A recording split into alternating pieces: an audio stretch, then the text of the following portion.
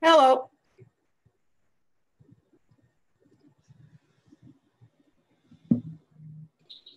Hello. Hi. Sally, I see we have you on here twice. What's up? Yeah. I just sent you a text. Uh, okay. I got you. Thanks. But Sally, you can only vote once. I know. It's very funny. So it's not like northern elections early and often? No. And I just, I just want to be clear that everybody is aware that there are the three of us on right now at plus Ebenezer and like 22 people uh, from the public. So let me try and open up the Q and A. And for some reason, it's not showing me the participant screen. Ah, there we go. There's a couple hands up already. Excellent. Um, all right. Sorry, I'm a little bit delayed. I had some technical difficulties dialing in. I'm just looking through the attendees to see uh, if any of our members uh, are on here. Tanya, Natalie, Hoppa family. Yeah. Um, Natalie's not, um, I'd be looking to promote the committee members and also Jennifer. Um, can uh, Ebenezer, can you make, there's, can you make Jennifer Hoppa? Oh, there we go. Excellent. Hoppa family is Luke, not Jen. I see. You're muted, Jen. Jen, you're muted. I, no, I mean, it's fine if you want to talk. I just can't hear you. My son and some other members of the Inwood uh, uh, 728 troop are, are working on their communications uh, merit badges. So they're joining tonight. we have public meetings happen. Oh, that's outstanding. All right. Well, thank you for that warning. I will do my best not to use any Keep of it my, PG. yeah, any of my characteristically colorful language. Um, thank you for that heads up. Um, Did they Uh, ever do their astronomy thing?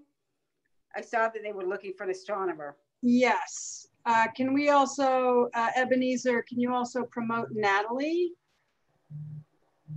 to a panelist? And uh, sorry for my inability to multitask. I'm hot and cranky. Uh, all right, I'm going to dismiss that. We're going to give this another moment. Sally, I'm not sure. I can find out. Let me know if that noise is too much in the background. Actually, you know what? I don't think it was astronomy. Now that I come to think of it, it was birds. I don't know why I'm confused. Oh, yeah. And I was, I They're told them good. Leslie J and Ken Chaya. Oh, good. Okay. A great Great. group. I encourage you to continue that conversation uh, offline. I'm going to bring this to order. Uh, It is Are 6:36. you, are you ready to start, Liz? Are you ready to start? Give me a few seconds when I start recording. Hold on. I'll let you know when you can go, when you start the meeting. Hold on. Okay, that's fine. Alexis, are you ready for, um, ouch, for uh, uh, taking minutes? Okay, you're ready to start. We are recording. Okay, Alexis, you're on mute. Are you good with uh, taking minutes? You ready to roll? Yep, ready to roll. Okie dokie. Welcome, everybody, to the September uh, Community Board Parks and Community Board 12 Manhattan Parks and Cultural Affairs Committee meeting. Uh, I am I am your chair, uh, Liz Ritter, Elizabeth Lorris Ritter. Um, we have our assistant chair, Daryl Cochrane, our public member, Alexis Marnell, who is taking minutes. Thank you. We've got uh, our committee member, Sally Fisher, our borough president uh, liaison, Natalie Espino. We've got Jennifer Hoppa from the Parks Department, and we've got, looks like about 30 attendees in the uh, audience, including a couple of people with their hands raised already. I'm assuming that's for the public for the, for the roundtable session, which we'll get to in a moment. Uh, I'd also like to, uh, can you promote Danielle Jetu, who is a committee member? She should be a panelist. And I also wanna um, note that our board member, not a committee member, Tanya Bonner is in the audience. Thank you, Tanya, for coming in. It's always uh, really important when members of the board attend uh, other committees. I appreciate that. So got some updates. One thing that I do want to say is I've gotten a lot of feedback from different people that meetings that go for much over two hours are just kind of exhausting. So I'm trying very hard to end this by 8.30. So help me out by being concise um, and by listening to other people's questions and comments so that if your question is similar to something someone has already asked, to just take in the answer to the previously asked question um, and to know that you can always follow up with people after the meeting uh, on the side. We don't have to resolve every everything uh, in the context of, of, uh, of one meeting. So, because we do meet monthly. So the, the big update on uh, parks usage is that the, the temporary road closures uh, ended as of today. They ended with the summer. So now that Labor Day has come and gone, the uh, Margaret Corbin Drive in Fort Tryon Park is now open to traffic.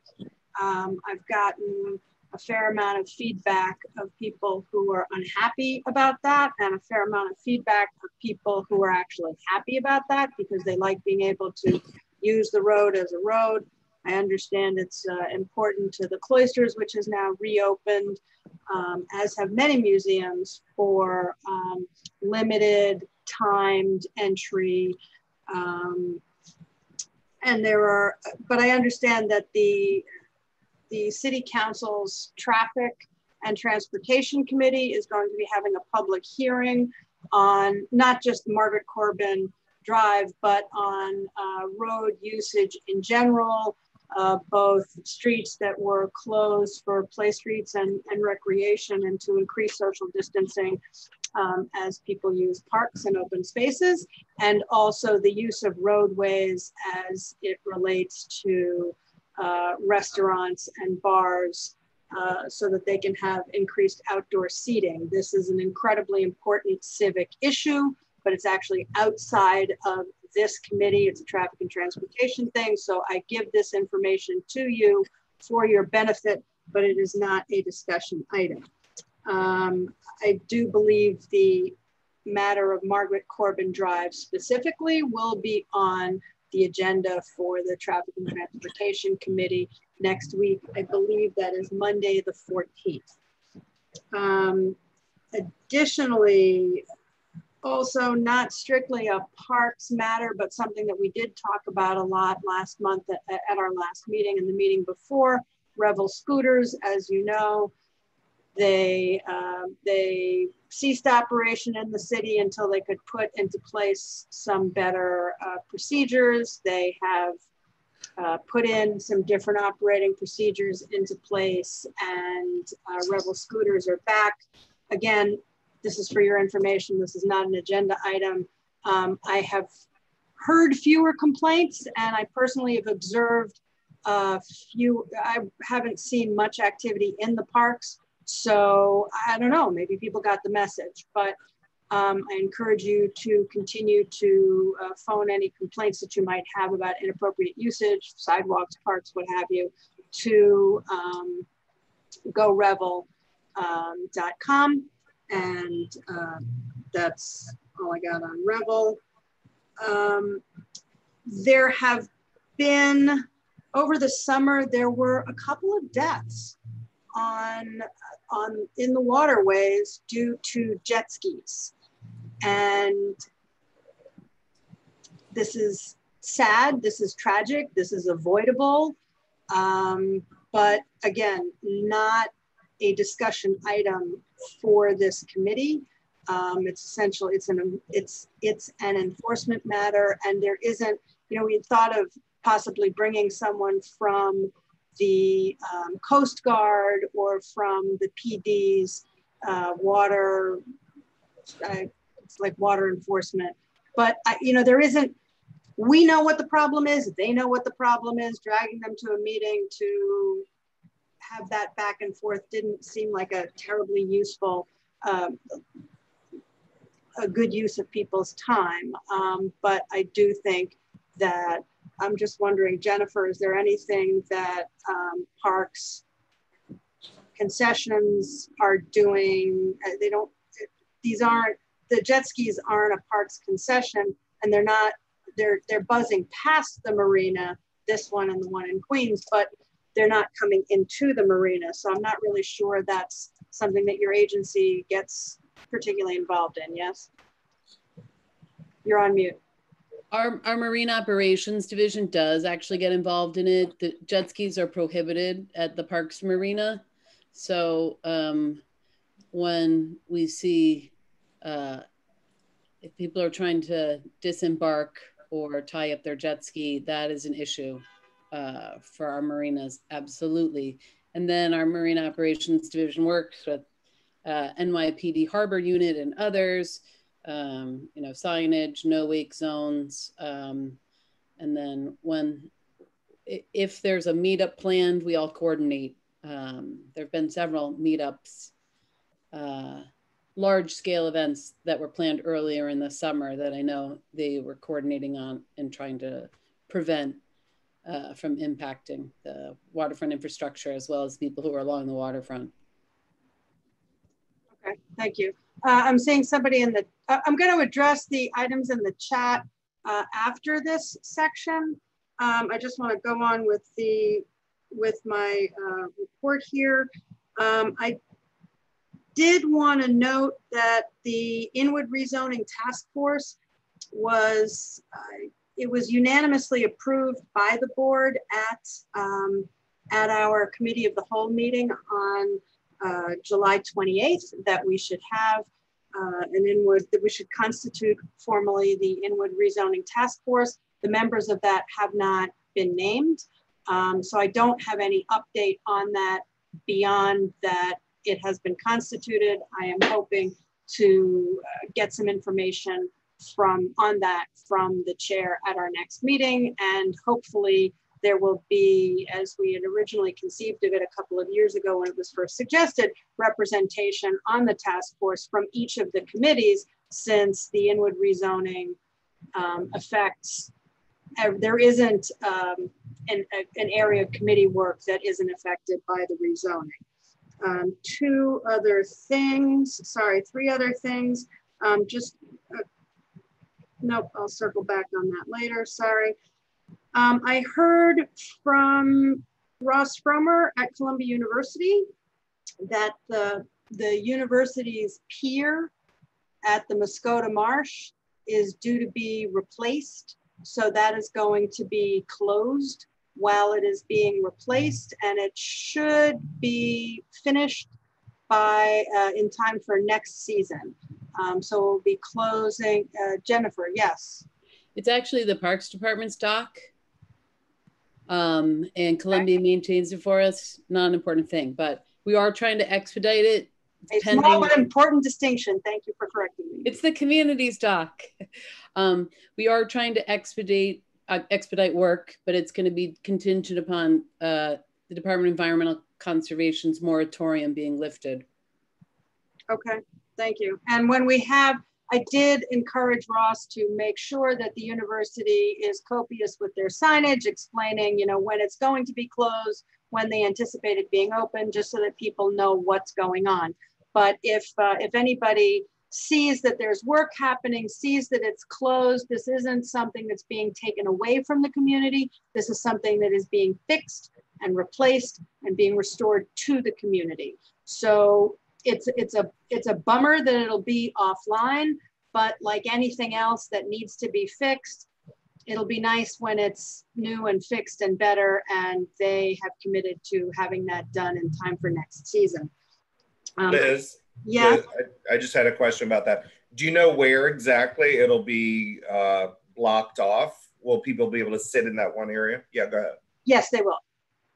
Jen, Just, just the floating dock is Okay. gonna be, uh, uh, repaired. So the fixed dock that's overlook, you can still use, and the whole rest of the park you can still Yeah. use. all of that's going to be completely unaffected. And last but not least, um, oh, welcome Barbara and uh, Danielle, two of our, uh, Danielle is a member, Barbara had been a member, rotated off to another committee, rotated back on. So uh, nice to have you back. And then I also heard, sorry, passing siren.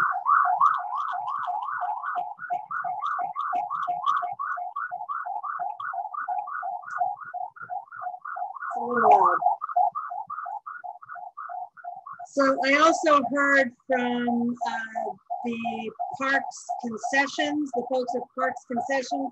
I'm gonna shut this. There's a restaurant across the street from me and a lot of double parking, and that, ladies and gentlemen, is an ambulance. Welcome to my world. Um, yeah, he's not moving. He's gonna go on for a while. So the folks at uh, Parks Department revenue had two updates. One is that um, events for all concessions uh, have been approved. Uh, small events, 50 people or less, uh, with a variety of, you know, the obvious social distancing requirements. People have to be six feet apart. Um, they have to be wearing masks. Um, so this is for all concessions citywide uh, in parks that they will be able to have small gatherings, you know, weddings, bar mitzvahs, anniversary parties, whatever it is that people do when they have small events of 50 people or fewer.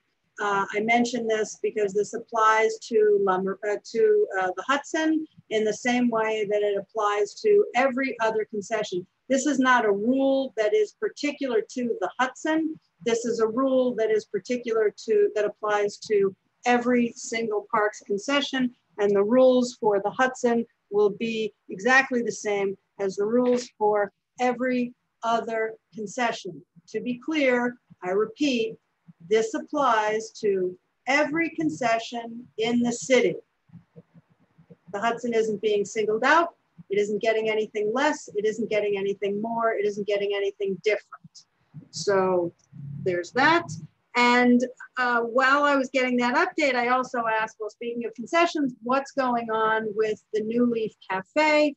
Um, uh, there was a concession, it wa- was RFP, there was, uh, as you know, there, uh, it was awarded, things fell through with the awardee, they went to the second awardee, things fell through with that uh, prospective concessionaire, and at that point, uh, the revenue division decided to issue a new RFP and uh, then COVID. So everything just kind of ground to a halt. Um, not surprisingly, there are many other priorities citywide than pushing this out the door. Um, so they will be reissuing an RFP. Uh, they don't have a date for it yet. As my mother used to say, no news is no news, but there's nothing happening, not because of a large conspiracy, not because there's uh, any kind of a secret deal. There's just nothing happening. Um, so as soon as I have an update, and hopefully I will have one soon, um, I will provide that to you. Um, I'm going to take Danielle's question, and then I'm going to go quickly to the beginning of the roundtable um, of updates from nonprofits because I know there are a couple of people who need to leave by seven. So what you got, Danielle? No, just um, I think I might have missed it. I apologize. You're referring to the concession for Fort Tryon, right? Yeah, the New Leaf Cafe in Fort Tryon. And if you could turn your mic up because it's really hard to hear you. Okay. If, So- if we had questions for Jennifer, should that wait till later? Yes, questions for Jennifer should wait to the portion of Jennifer's presentation. This was my update. So if you have questions for me about the things that I just gave you an update on, ordinarily I would take them now, but as I said, it's 6.52 and there are a couple of people who I know need to uh, go. So I'd like to move to agenda item two, the brief programming uh, updates from nonprofits, uh, arts and culture organizations, et cetera, et cetera. And let me just get my timer going. And I'm gonna unmute Martin Collins. Um,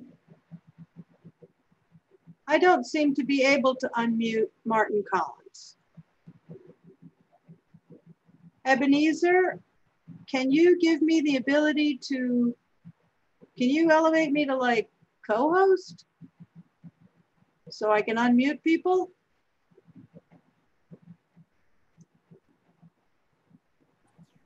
You got it. Thank you. Okay, Marty, you're on. Good evening, everyone. I have uh, two updates, one from UpTheater Company and the other from the Northern Manhattan Arts Alliance. On the first, UpTheater Company launches a series of radio plays starting at 8 p.m. tonight with a new show each Tuesday at 8 p.m. through September 29th. Please see uptheater.org for info. Thursdays with Northern Manhattan Arts Alliance continues with singer songwriter Lee Burgos this Thursday, September 10th at 7:30 live on site at Kenyave, 4716 Broadway at Arden Street. Please join us on site to watch and listen to Lee Burgos or on Zoom and Facebook Live. Details to do so uh, on Zoom and Facebook Live on our website, nomanyc.org. Also, Thursdays with Noma features a new artist or performer every Thursday at 7.30 through November 19th. Again, nomanyc.org for info. And two more things from Noma. Please see our newsletter, which came out this afternoon for an update on all of the uh, arts and cultural events uptown. And lastly, NOMA will have a new website debuting shortly. Check out the website, nomanyc.org for info. Thank you, everybody, and enjoy your meeting. Thank you so much, Marty. And if you could shoot me a quick email with uh, those updates so that I can include them in the minutes would be great. Um, thank you. Uh, next up, we have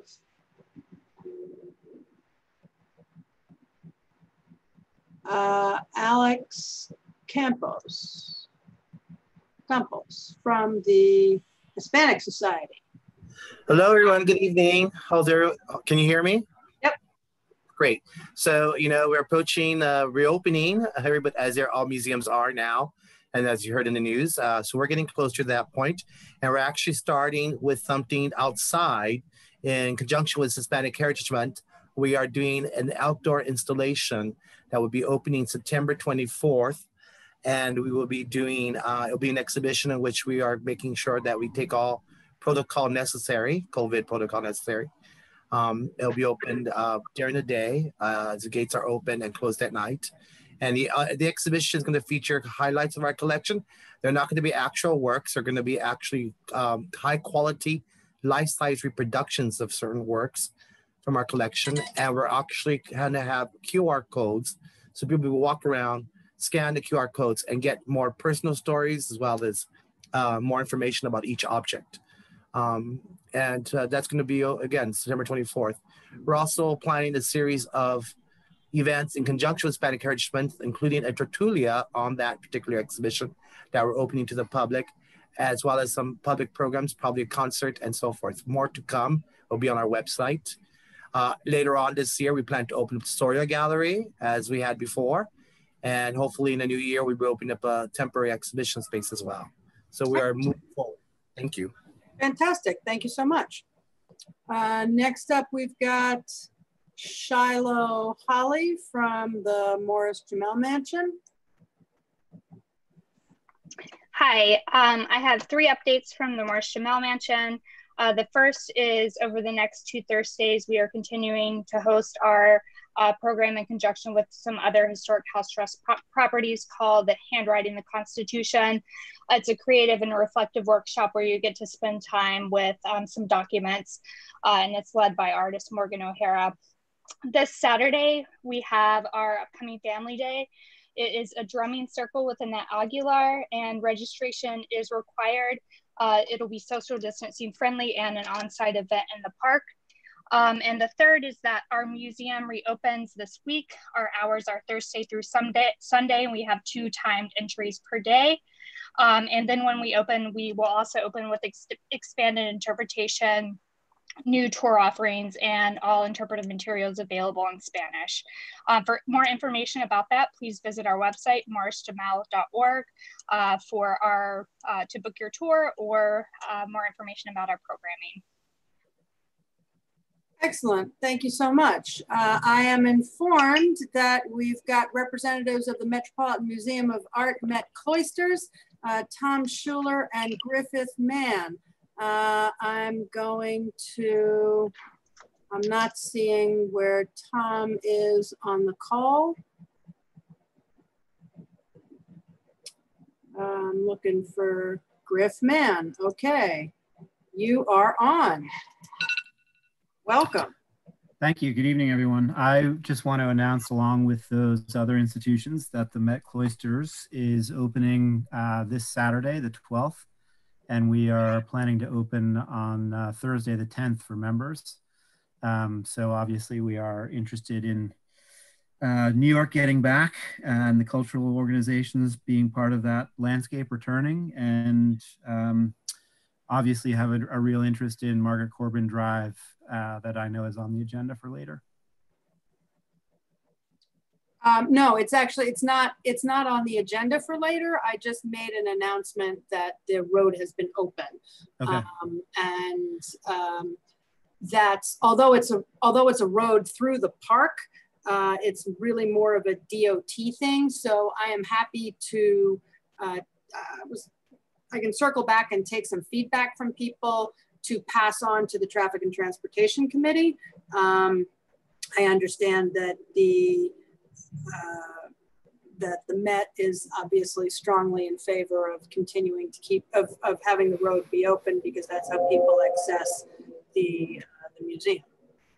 Yeah, one of the issues I would mention that's connected to that is the fact that the elevator uh, at 190th Street is down for repairs.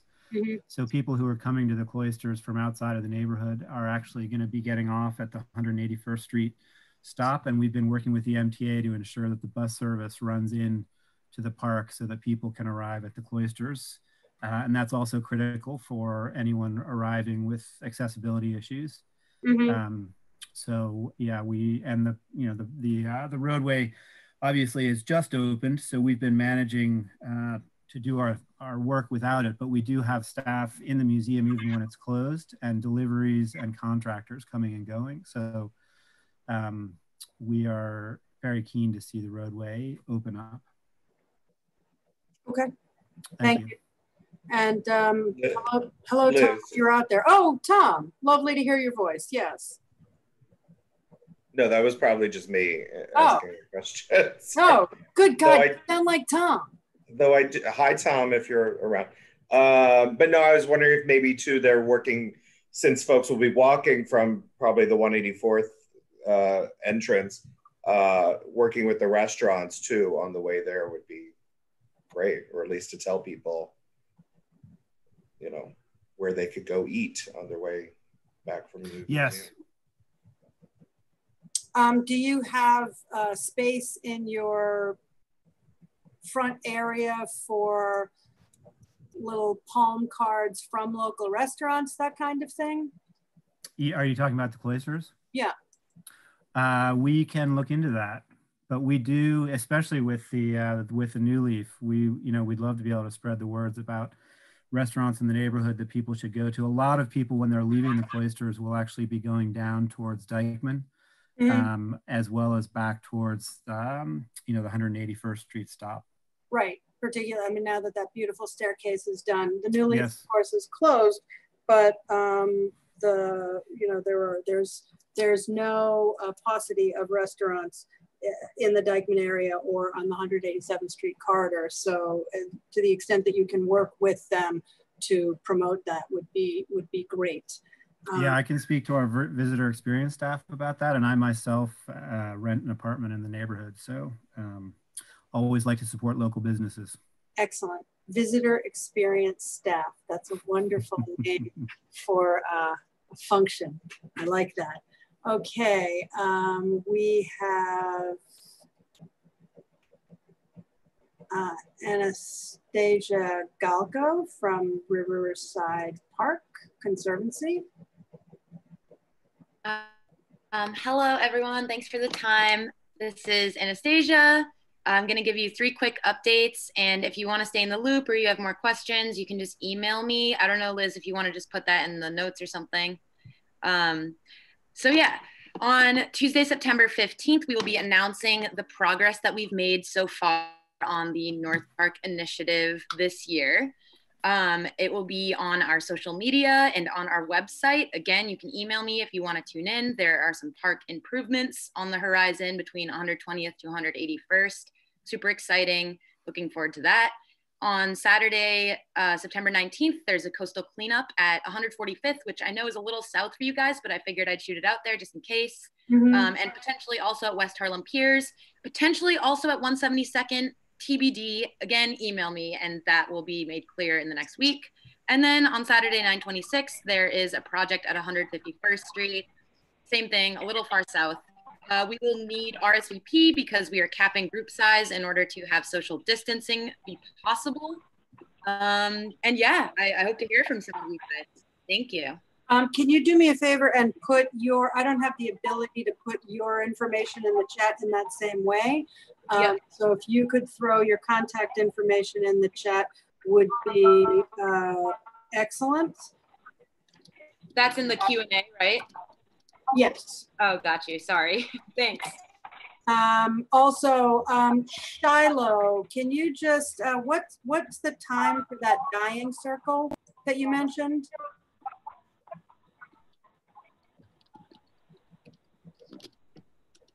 sorry, I had to unlock my phone. Uh, it is uh, Saturday at 1. By which I meant drumming circle, of course. Yep. Yes, we're not, I didn't hear we're that. not, we're not dying, we're drumming. Yeah, and uh, registration can be found on our website. Excellent. I'm sorry, what time was it? Uh, I missed p.m. it. What time? 1 p.m. Thank you. Thank you. Great. Okay. I'm sorry, I have one more question for uh, Anastasia. What was the event on 919? I don't know if I'm unmuted. Um, yeah. What was the event you said for 919? Can you hear me? Yes, we can hear you. Oh, sorry. Uh, it's a coastal cleanup. So we'll be doing trash pickup, which is clearly very needed if anyone's been at the parks recently. Yes. And that's going to be at which section? Definitely 145th Street on the shore, if not also West Harlem Piers and also potentially 172nd. Thank you. And just for people who are curious, Thank you. I, I understand that 145th Street is outside of Community Board 12, but that area um, just south of uh, where Community Board 12 ends is an area that uh, folks within the board, particularly at the southern end of the board, use a lot. So I feel like community interest is better served by not being so precise about like it's 155th Street, that's where it ends, and we don't care about anything south of that. So the the borders and the parks are a little bit more fluid. I'm gonna move to uh, Aaron Sims from Inwood Artworks. Hello, everybody. How's everyone doing tonight? Well, thanks. Thanks for having me today. Um, happy, I guess, almost fall. Um, so, uh, Inwood Artworks, uh, for those of you who don't know, um, its mission is to create and curate professional performing and visual arts in Inwood and surrounding community. Uh, and that definitely applies to Washington Heights and also in the Northwest Bronx. Uh, just the four programs we have going on this month, uh, there's a lot. Um, so just give you the bullet points. Every Tuesday, today, you could log into our YouTube channel and see a musical story time for kids, uh, sung by some of our Uptown artist families. Today, we're highlighting favorite things from The Sound of Music, which is great. Um, twice a month on Wednesday nights, uh, we are doing Lost Inwood Video Vault uh, about Inwood history and North Manhattan history. Tomorrow, we're doing a documentary on votes for women and Uptown history of women's suffrage It's a very short documentary created by Cole Thompson. Uh, and then on the 23rd, we're doing uh, a short documentary on Uptown's Forgotten Slave Cemetery. So just bringing it to your attention. Um, on Thursdays, every Thursday this month, we're having uh, our podcast, uh, which is in available on our YouTube channel in video form, and also available on Apple Music, Spotify, and our Inwood Artworks website, and wherever you get your podcasts from. Uh, this Thursday, we highlight local painter Elisa Gore, who many of you know from her works in the parks. Um, we are uh, have two Metropolitan Opera singers, Laurie and Mary Phillips, on the 17th, and then uh, fight choreographer, local artist David Anzuelo will be also featured on the 24th. Uh, and last but not least, we, every Friday uh, since March, Inwood Artworks has featured a local film since we had to postpone the Inwood Film Festival. So we've been showcasing a local filmmaker and their film every Friday, and also pairing that with local businesses that are open. Um, this freaking Friday here, we have 9/11. Uh, we have We Kwahik by Jamie Rudy, and uh, we're featuring Buunni Coffee and Kiro Kurin. Uh, if you have a in the neighborhood and like us to feature you, it's absolutely free, gratis. We're happy to tell the world you're out there and open. And if we can help you out, we will. So it's all available on our social channels. It's all free. And um, we just want to keep spreading the positivity and the creativity in the neighborhood. Thank you. Thank you. I'm going to have to cut you off here because you're over your time, but thank you very much. You guys, Inwood Artworks does a huge amount of stuff. Um, I do hope you're able to stay on the call because one of the things that I'm hoping um, Jennifer will be able to address during her uh, report, which is coming up soon, is um, when the Parks Department will be contemplating uh, permitting per, uh, permitting events in parks. Uh, it seems to me that a properly managed, socially distanced, I don't know, outdoor film night is probably safer than the unmasked, undistanced partying that's happening in the parks. So, you know, there may be some, um, you can hopefully give us an update, uh, an update on that during your uh, report. If there are other people, I see a couple of hands up. Hold on, Sally. Uh, I see a couple of hands up in the audience from Cynthia Auburn and from Tanya Bonner. I'm assuming that your comments are relating not to uh, nonprofit cultural Friends of Parks groups, but to parks conditions generally, which is coming up later in the agenda. Um, I've got Bob Barnett. Uh, Bob, did you have your hand up to give a, a report from Hudson River Community Rowing?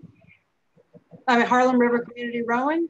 Very briefly, um, we had hoped to do a very simple singles program this, uh, this fall, and we had been in conversations with parks.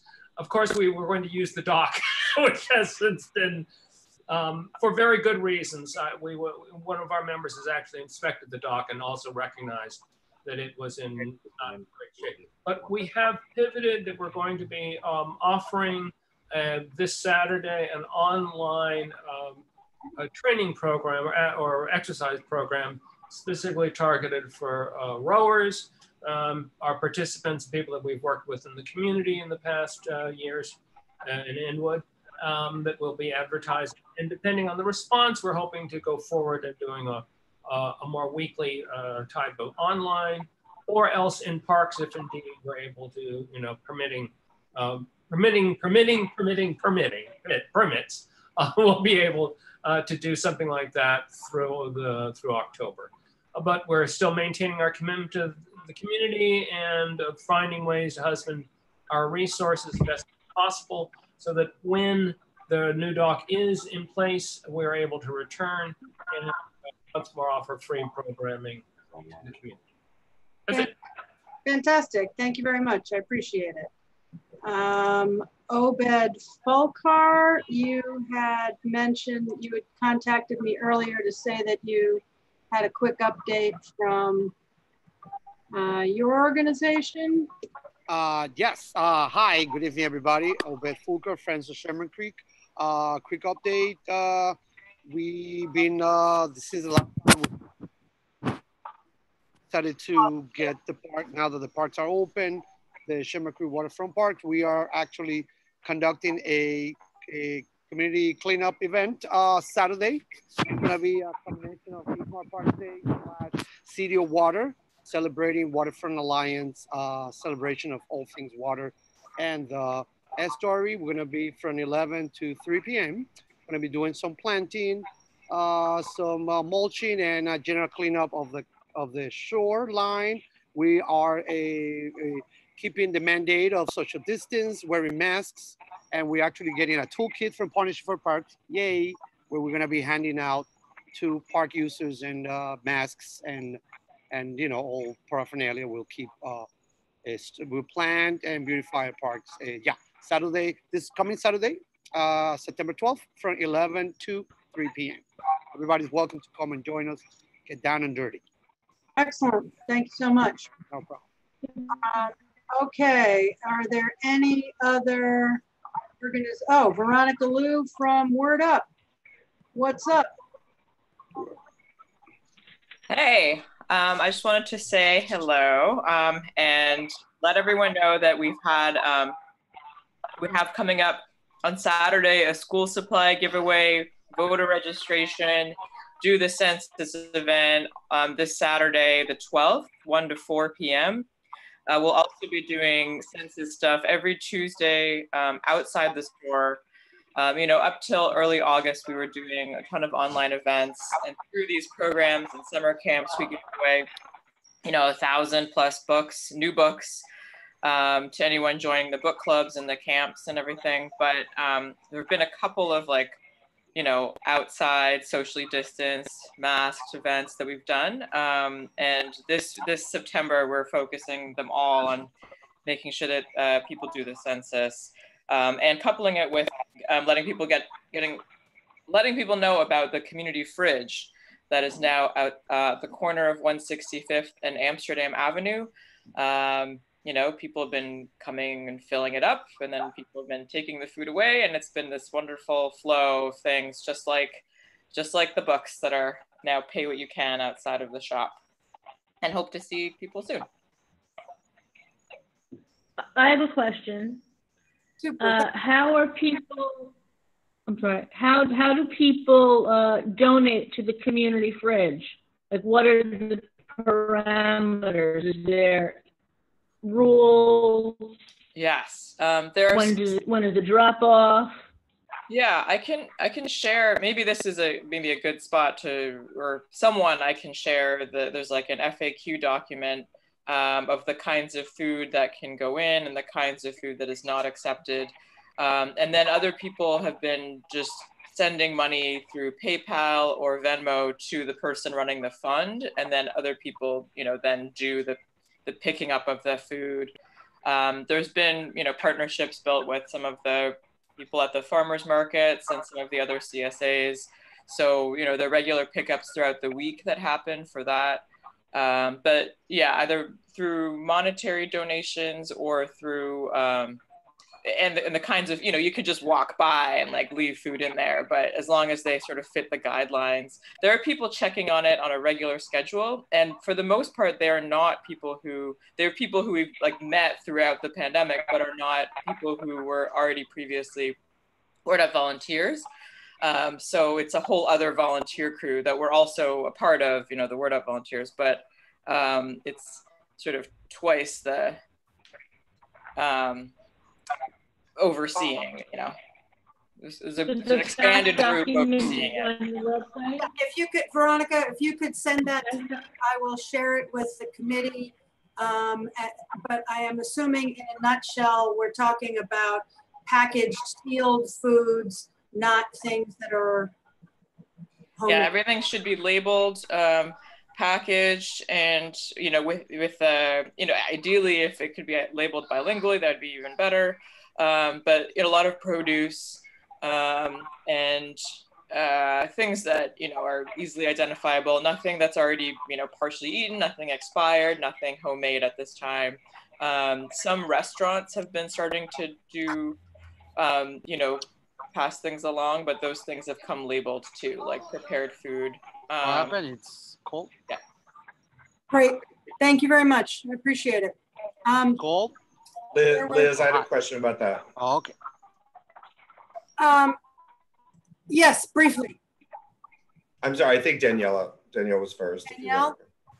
Oh, I was just gonna ask. I mean, you can you you can go ahead, Daryl, if you want. Um, it was sort of related to that comment um, about the refrigerator and the giving and taking it. Okay, I just want to, the, the community fridge is a wonderful idea. I support it. I love it. I'm happy it's a thing.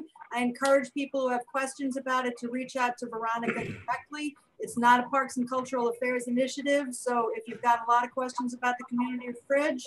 Oh, no, I don't. Vern, if you could uh, throw your right. contact information up into the chat, that would be great. My, my question was just simply if people that are utilizing the fridge are maybe getting uh, information on other resources in the community for whatever other needs they may have.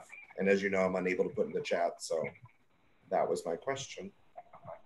Uh, we have uh, maybe not directly at the fridge. We have, um, you know, there's stuff posted all over the outside of the storefront because we have the nice advantage of big windows where there's big bulletin boards for, you know, what to do if, you know, you're encountering, you're experiencing domestic violence. There's uh, information about the census. There's information about stuff that's in the windows. We're, we'll happily put up more. Okay, thank you. And if you can put up um, your contact information, Vern, in the chat, that's what I meant. I know that the panelists can't put their questions in the chat, but uh, if you could put your contact information in the chat would be great. And then send me that flyer and I will forward it to the committee. Um, I've got a question in the chat um, based on the time asking about where the cleanup is on Saturday. Um, I'm assuming that is directed to uh, Obed at Sherman Creek. So Obed, I'm going to unmute you briefly so that you can give us some information on when, uh, on where people should be meeting up for that cleanup on Saturday. Yes, uh, meeting point will be uh, the water Sherman Creek Waterfront Park at 203rd 10th Avenue on the Harlem River. That's where we're going to be meeting, and uh, there will be tents, tables for physical distance. I don't like the social distance term because we are socially connected, yet physically. And yeah, that's the meeting point at for at 11. And feel free to come one hour, what as much as you can, stay for the day for the whole duration. 11 to 3 p.m. 203rd Street and 10th Avenue. Super. Thank you so much. I appreciate Thank it. you, Liz. Appreciate. Okay, uh, going once, going twice. Any, oh, Sally Liz, I didn't get to finish my question before. Oh, okay, yeah. Um, I think you thought it was going to be about the fridge. It was. I, I was I trying to say that it was it's really hard to hear you. I don't know why. Can you hear me now? Can you hear me? Yes. Okay, I was saying that it's along the same vein as like the give and take with the refrigerator, but pertaining to books in the parks. I was wondering if we've ever discussed the idea of having like like what they have set up on um, Dyckman and Broadway, sort of like a, a book library in the parks in Inwood. I think the issue is maintaining um, the bookshelves and whether or not they're protected from the weather, because that's been an issue with all of the public bookshelves. I mean, that's one issue that I can think of immediately. Yeah, I've seen them before in other cities where they have them in like an enclosed sort of situation. But I guess, you know, just wondering if that's something that like is possible, if we've ever discussed. Yes, Jennifer. We, we I know there was one at Indian Road right at the entrance to Inwood Hill Park. There still is. Um, I'm not sure who maintains it. And then there also was one uh, at, at Bennett Avenue at the A train entrance. That's also gone. I think to Sally's point, a lot of the times they just they deteriorated. It's something else to maintain. Um, if a group comes to parks, um, we pilot it, and um, what tends to have worked well is if it's smaller scale, not people coming and dumping their bookshelves. You know, um, Bennett Park, we have one, the Little Free Lending Library, and it probably holds about 20 books. Um, otherwise, at, a, at the other locations, we get we've gotten dumping. Uh, at the Morris Jumel Mansion in Roger Morris Park, there's also a little library that uh, is there in conjunction with the program through Word Up. Cool. All right. Thank you. Um, Sally. Okay, a couple of events. I'm, I'm going to speak for two organizations, maybe three if there's time. The first is Friends of Inwood Hill Park. Um, I just a shout out to the parks parks maintenance workers who are doing a great job despite losing all their seasonal staff. Um, and also to groups that have joined us in half a dozen cleanups, especially the parks maintenance workers. The there's a um, group of Hispanic youth from all over the city called Communify. They've done a couple cleanups with us. Senator Jackson's office, um, and most recently, I think last weekend, um, a group that a volunteer group that grew out of the Greenbelt Nature Center. So I want to thank everybody for that. The next event that we have, um, and I'd encourage people to keep in touch with our Facebook page, is on the 26th this month. Um, it's a plogging event. Um, it, plogging, for those of you who don't know it, is sort of a combination of jogging and the Swedish term, um, and I won't pronounce it right, which is pika up, which means pick up. Um, and basically um, getting exercise while you're cleaning up whatever route you're running or jogging, or in my case, I'll probably be plocking which is picking up and walking. Um, so that's on the 26th. And the next huge event that we have um, is on the 17th of October. That is the annual river sweep, um, typically held the first weekend of May, which was postponed for obvious reasons. Um, this will be, I think, our third or fourth year doing it as Friends of Inwood Hill Park in conjunction with other groups. The um, we've done two sites. One is the Dyckman Pier. Um, I always like cleaning up at the river because then it doesn't end up in the belly of some fish. Um, and also at the northern, at the top of Inwood Hill Park. Um, and that's with Leslie Burby and crew. Um, those announcements will go online on the 17th of this month and you'll be able to sign up. There will be sites for those of you who don't live in Inwood. Um, there are sites all over the city. Um, next, um, and then the other thing I just wanted to mention is to 30 seconds because that that that dinger was your time. So okay.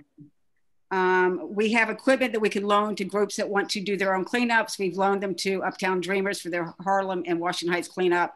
Finally, the Washington Heights Food Council um, has been doing a plant-based nutrition series, and that will continue this Sunday. It's called Food for Life. It's a, a, it's a curriculum developed by the Physicians Committee for Responsible Medicine. The next session um, is this coming Sunday, as I said, and the focus will be foods for a healthy weight. You can find out more on the Washington Heights Inwood um, website or Facebook page. And that's it since I'm wrapping up. Cool. Or wrapped up. Thank you. Thank you. Uh, Jennifer? Just before the parks report, one cultural thing. Um, people perhaps have seen it. Uh, the Parks Department had planted a grove for Juneteenth at Cadman Plaza um, back in June. And as part of that, 19 flowering trees were planted and 19 benches were painted in the Pan African flag colors. Um, the Parks Department now, in concert with partners, um, we've been uh, sort of spreading that temporary public art uh, project throughout the city um, right near where Friends of Inwood Hill Park help us at Inwood Hill. Uh, we have a new bench by the farmers market at Isham Park. We have a new bench. There'll be one going in at Fort Tryon, um, at Broadway and Arden Street. Uh, the Dyckman Farmhouse has one, and we're working with Shiloh to have one at, at Roger Morris Park. Um, and those will be up through um, uh, December 31st. It's part of sort of a larger um, initiative on the Parks Department's uh, led by the Parks Commissioner, um, declaring solidarity with the Black community. Um, November 2nd, there's going to be another piece uh, rollout of it um, with some park renamings. But um, if you're wondering what those benches are around, and there's a, a, great press release on the Parks Department's uh, website about it and one other cultural event coming up. It's Fort Tryon Park's 85th anniversary, and the Fort Tryon Park Trust is having uh, an opportunity to travel back in time. 85 years of the Olmsted legacy at the Heather Garden, um, October, uh, September 15th at 6:30 p.m. Uh, with the public garden designer Rhonda M. Brands, talking about the Olmsteds then, what we know now about invasives and how we carry on their legacy, but keep the park and its ecology thriving. Thank you. Um, Natalie, you want to give us a quick uh, a plug for the census? Always. I live to give plugs for the census. I know you do. So, yes, um, this is something that may not on the surface look like relate something that is related to uh, the, this committee, but uh, we all know that the importance of being counted, of having every member of our community counted, of having resources allocated and representation in government determined uh, by an accurate count of everybody of every sort, of every age, of every national origin. Uh, in this beautiful community of Washington Heights Inwood um, is it's crucial and it affects every sector. Um, and there are citywide uh, there is right now a group of cultural organizations under the hashtag uh, culture counts um, that you know are arts organizations that have mobilized uh, to make sure that people who follow and support the arts realize the importance of uh, being counted uh, to for the ongoing support of arts and culture uh, of, of arts and culture and as we know as well as the parks so the government has shortened the response time. We all know this. Something cheeky happened. I don't want to speculate, but we only have about 23 days left to respond to the census. So make sure that every conversation you have, even if it is about uh, teacups or wingnuts, uh, includes a plug for the census. Thank you all so much. Outstanding. Census, census, census. I see Manhattan is up to 56%. So, which is better than it was, but not as good as it could be.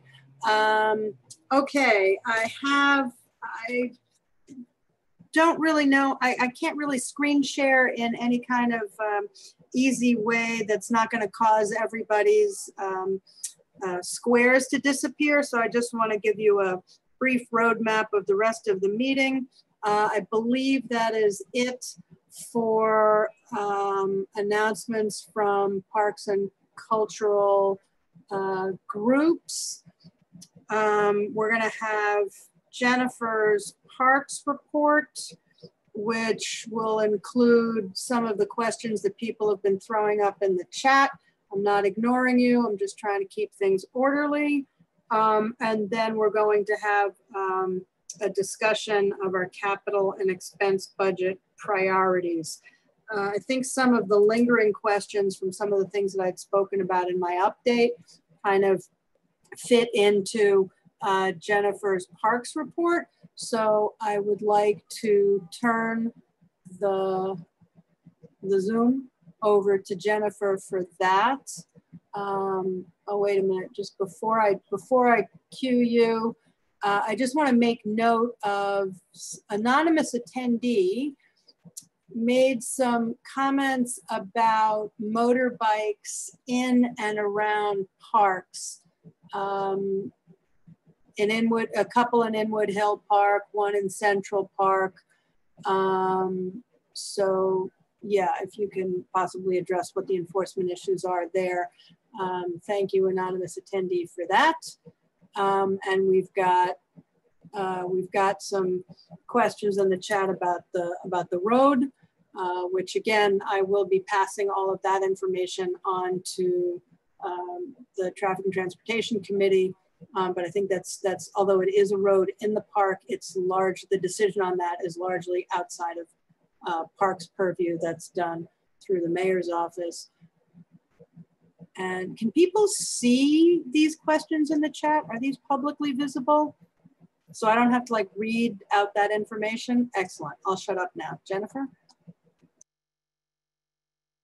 Hi, everyone. Um, just before I forget, this doesn't affect everyone, but it does affect many of you. A lot of people, more people are using the, the 10 miles of trails in Inwood Hill Park. Um, we have had, oh, it doesn't work.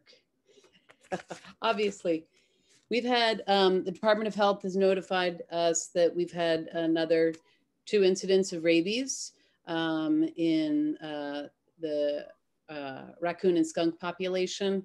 Uh, one was in the street network, um, not in the parks, but east of Fort Tryon, and one was along Payson Avenue. Um, the urban park rangers have done uh, some public education as a result up at uh, Muscota Marsh Park, where people are unfortunately feeding feral cats and thereby attracting raccoons. And uh, someone was bitten. Um, we've got signs up at key park entrances, um, but I just want to remind everyone to keep your dogs on leash. Um, uh, and to be mindful if you see a raccoon that, or a skunk that seem lethargic or overly aggressive, uh, please call it into 311 so that the Department of Health and the, the Parks Department's Wildlife Division can respond and address it, um, isolate the, the animal and test if, if warranted. Um, so please be, be mindful um, and please keep your your dogs uh, on leash, probably both in and outside of the parks because these are actually park exterior and, and outside of them. Um, I also wanted to let people know uh, that the Parks Department has launched a new uh, campaign. Um, we need everybody's help to show your park some love. Uh, as you can all imagine, with COVID, uh, our parks are seeing probably some of their highest visitorship they've seen in ages. Everyone is uh, using the parks for physical activity, for uh, getting together with family, uh, safe social distancing, um, for protests, um, for uh, you know graduation photos with the family, you name it. outside office, um, it's it's all happening in the parks. Uh, as a result, we're seeing a, a, a lot more uh, garbage in the parks.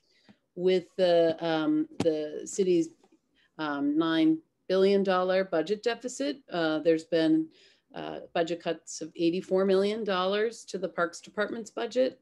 Um, that means that we're dealing with um, staffing reduction of 1,700 people. So at a time when we've got higher volumes of park use, we don't have uh, the seasonal staff that we normally would have to address that. That said, um, thank you, Sally. Um, our staff have been uh, working diligently to try to keep up with it all, um, coming in at six, over the weekend handing out bags. Um, it's definitely a lot to deal with on top of all the illegal dumping and other things that happen at our parks. Um, so we need everybody's help. Um, our elected officials have been doing uh, neighborhood cleanups in the streets and at park perimeters. Um, the Natural Areas Conservancy, Friends of Inwood Hill Park, the Fort Tryon Park Trust. Uh, we'd love everybody's help to, to, to, toss your trash. Where you can use reusable materials if you're gonna picnic with your family and take them out of the park. Bring a bag and uh, take the trash to the can um, if the can is overflowing, put your bag next to the can um, and encourage your neighbors uh, to help keep our neighborhood clean because it definitely takes a village when we're all uh, spending so much more time outside uh, trying to escape being cooped up in apartments. Um, and I wanted to give this community board a shout out. Um, as many of you you know, we don't necessarily have you know a second shift afternoon staff. Um, the community board members have gone out into the parks at night when people are gathering and hand out bags and talking to their neighbors, and that's great. Uh, it really um, helps extend uh, the Parks Department's efforts. So thank you for that. And be on the lookout for um, new flyers, uh, stickers, We've had more trash cans out in the park, um, more coming. Um, we've gotten more equipment for dealing with trash, but not additional staff. So that, that's definitely a challenge. Um, so love your park, toss your trash. Um, our parks are also being used for the outdoor learning initiative um, that the mayor announced. We've got schools that I think we have about 185 schools so far that are going to be taking advantage of Uptown's uh, abundant parkland um, for outdoor learning, outdoor physical education, whatnot. You said how many schools? uh, not just 185 in District 6, it's 185 citywide. Uh, so the parks are being used for outdoor learning. We are going to have some additional roadway closures for outdoor learning. Uh, the mayor's street activity permit office is working on those. And then of course we have the play streets. Um, so uh, the city's working hard to try to accommodate as many people as we can outside. Um, special event permits right now, it, it is up to 50 people. You do have to submit a, um, a safety plan to go along with that to show how you're um, dealing with crowd management and uh, protecting public health. Uh, no amplified sound is being permitted though. So if you hear amplified sound, absolutely call it in. It's not, um, it's not approved in any instance. Um, as you know, uh, schools and league sports for, for kids and youth um, is back on the table. Permits are being issued for those. Um, uh, the fall season starts next Tuesday for youth baseball, softball, non-contact lacrosse, uh, flag football. Uh, we know people need to get out and play. Um,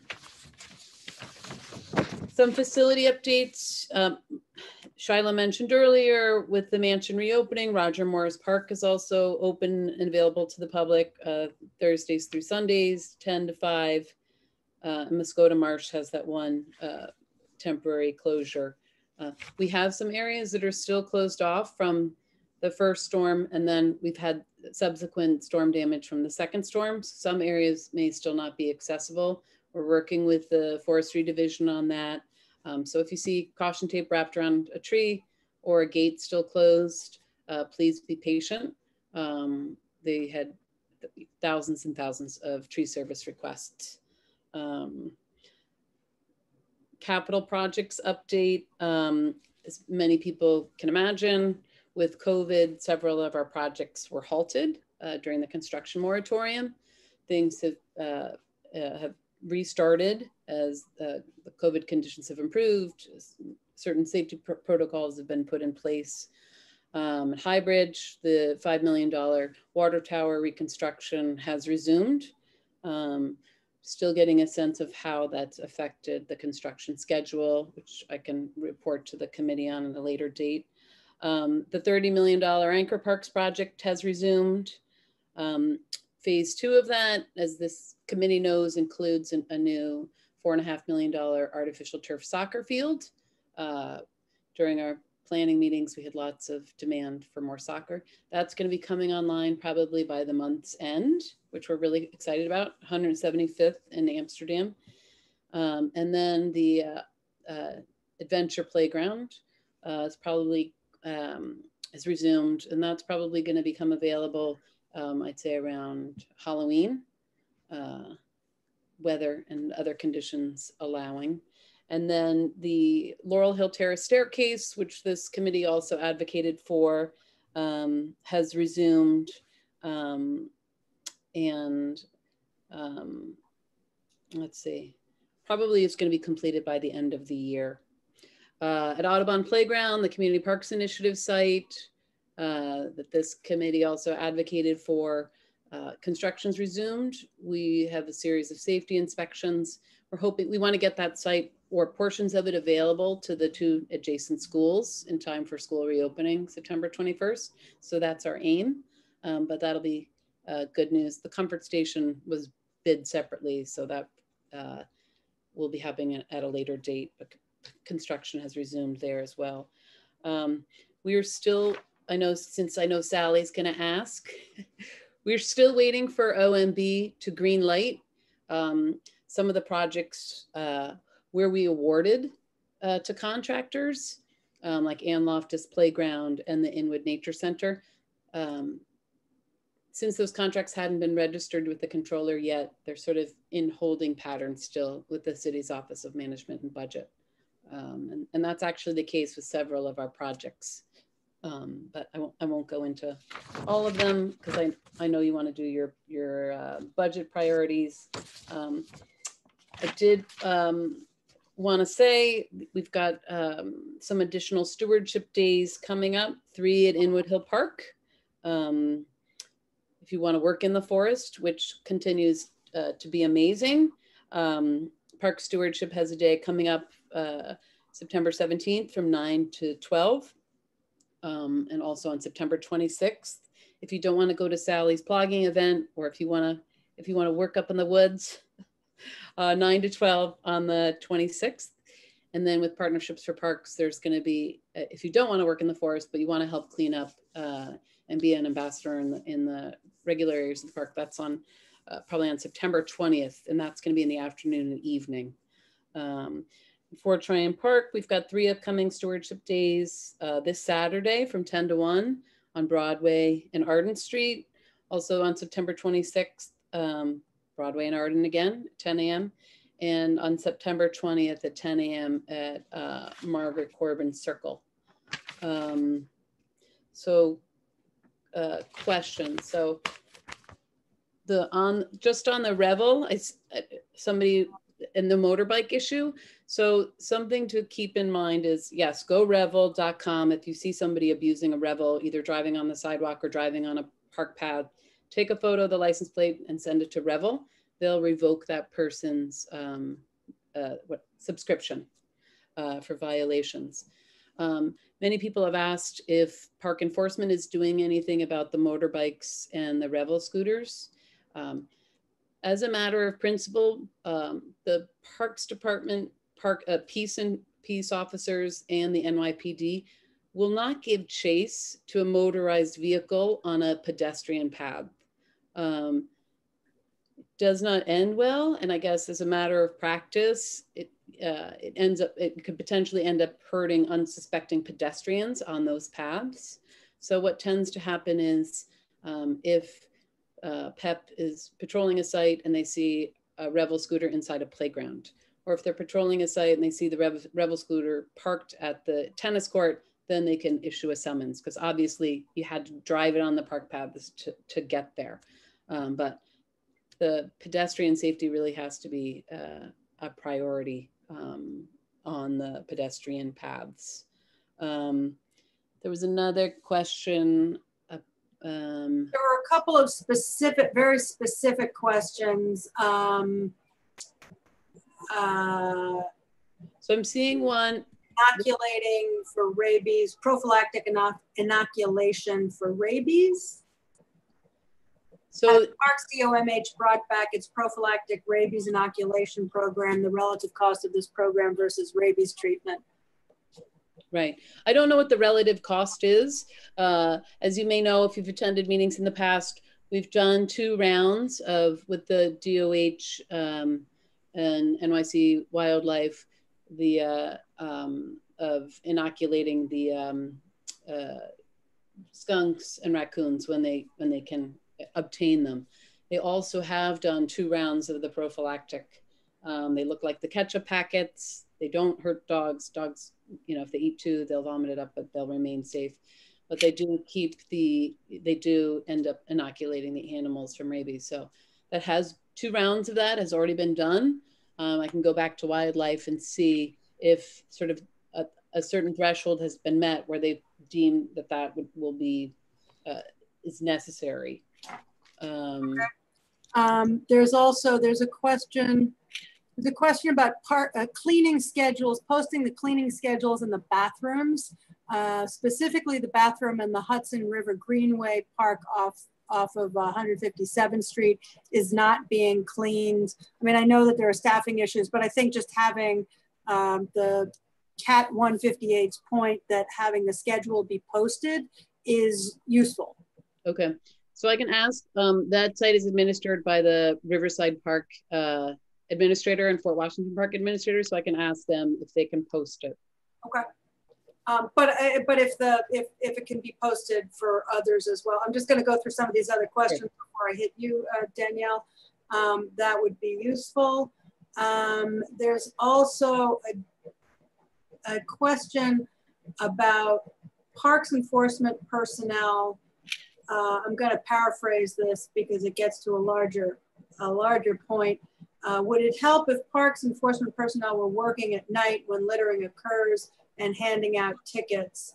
Um, so speak a little bit about what the staffing is for PEP, what their scheduling is, um, and how best to, you know, leverage that limited resource. Um, sure. So the park enforcement division schedules do change. Um, there, there are things uh, we do special operations.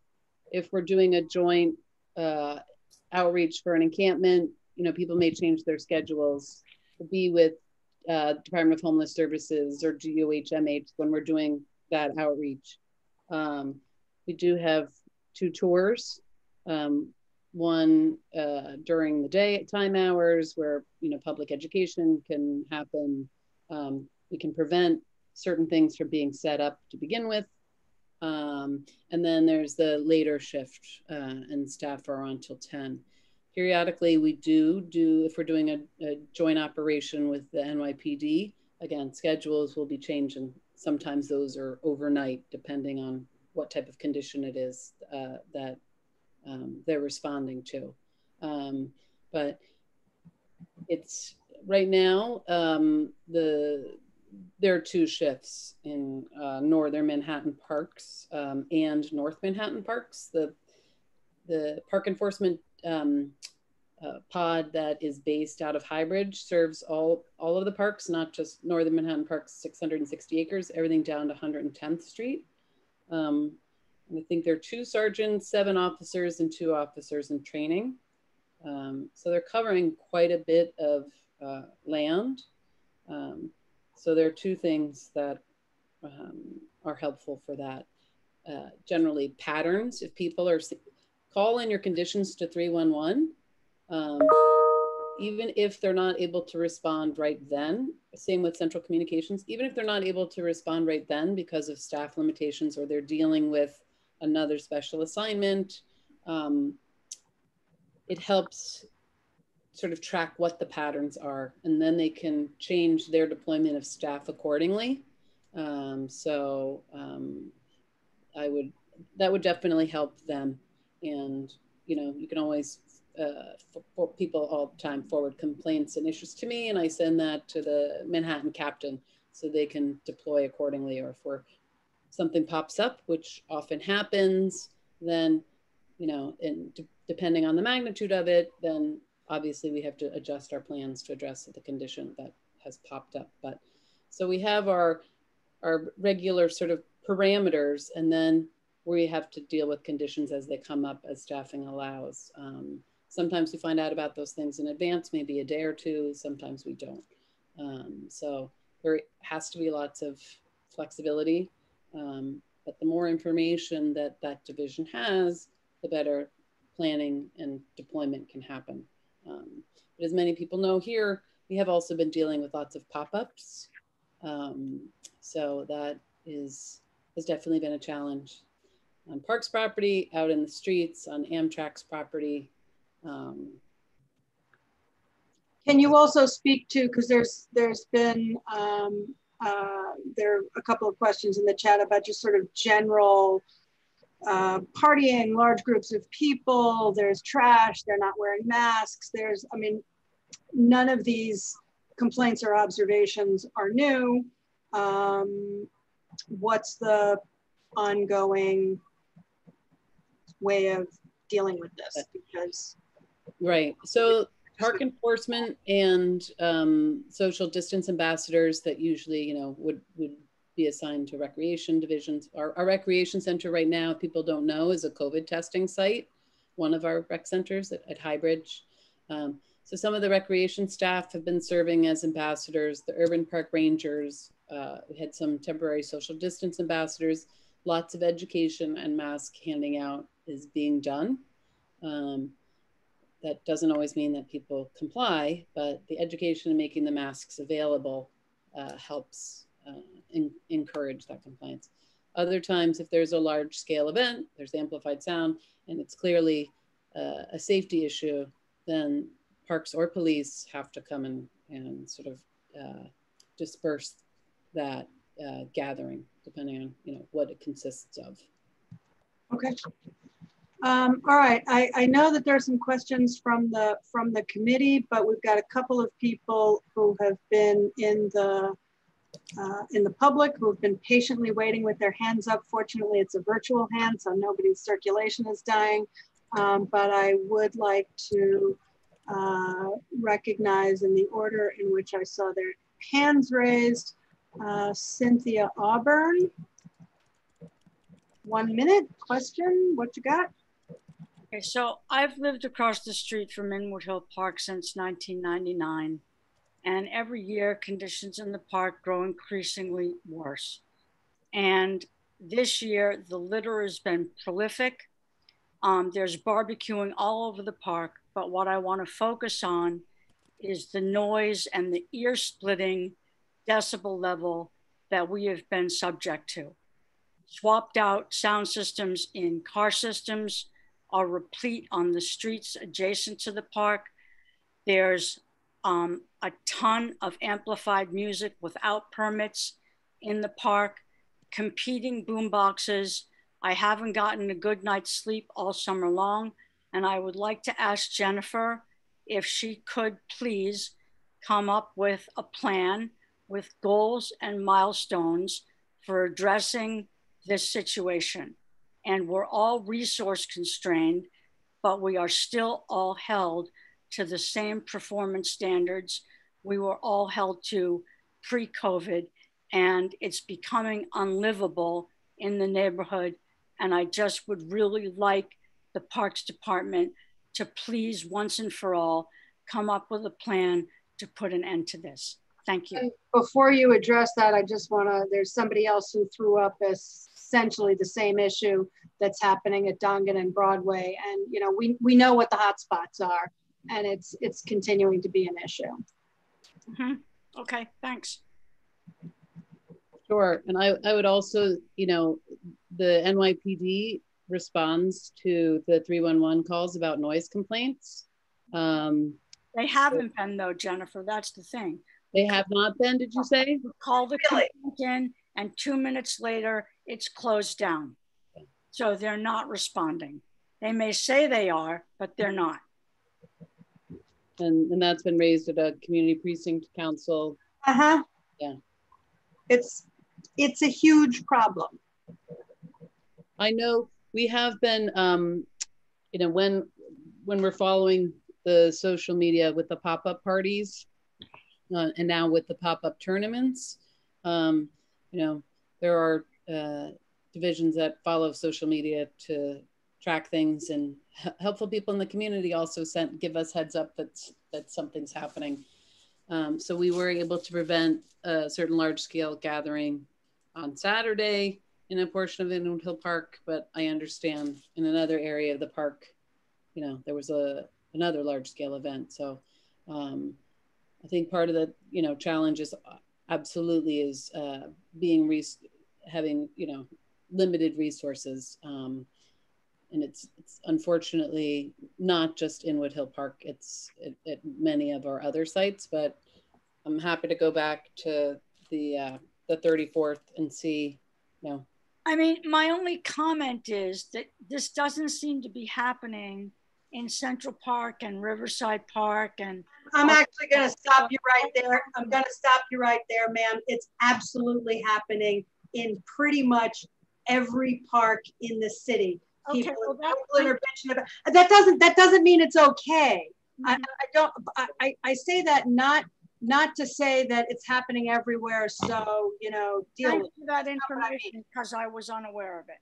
But yeah, it's it's not it's not like every park has no problems and it's only happening here. It's literally happening in every other park, including Central Park. I, I was unaware of that, Liz, so thank you for informing me. You bet. It, there was an article today about Washington Square Park and a big party that NYU threw, Cynthia. Um, mm -hmm. And then a few weeks ago, you know, Prospect Park. Oh, Prospect Park, Brooklyn, Queens. Right. Oh. So I'm not excusing it, and this is my community too. But I, I guess what I'm saying is, you know, it's it's uh, whereas maybe it's been isolated before, it's much more broad spread. So okay.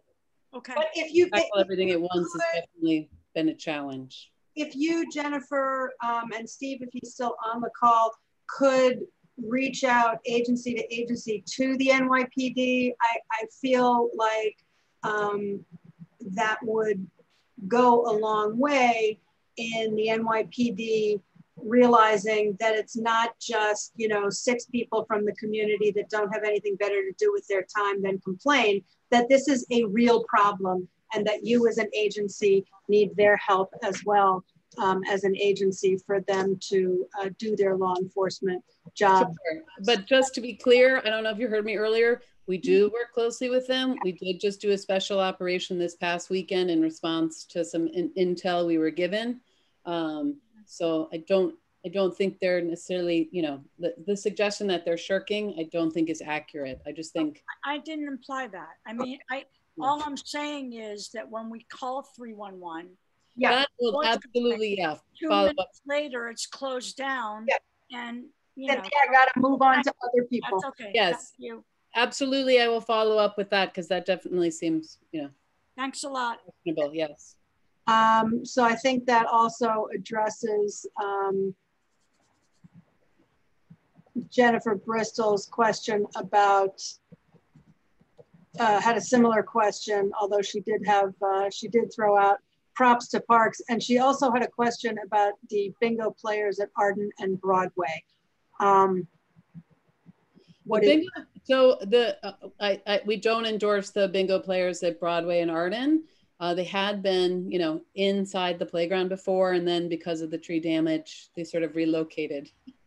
um, we'll continue to work on that um, as as the larger scale event problem, you know, winds down. We hope with. Uh, um, if someone could just ask them to clean up after themselves and to wear some masks, it wouldn't be yeah, tough. It would go a long way. Absolutely.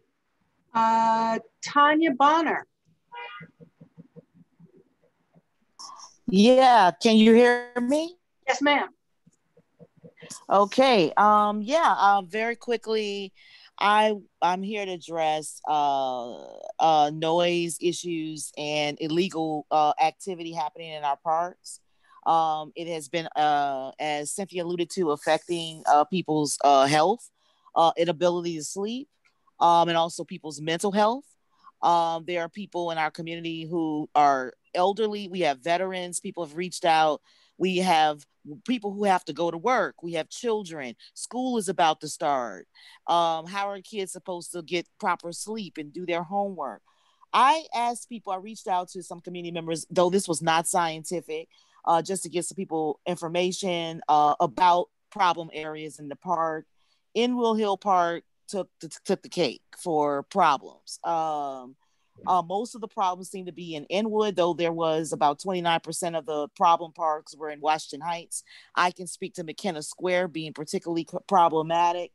Um, some of the illegal activity that is prohibited in parks included loud music with with DJ type equipment, loud parties, drinking, illegal drug use, fireworks, large gatherings, uh, not to mention uh, so many other things.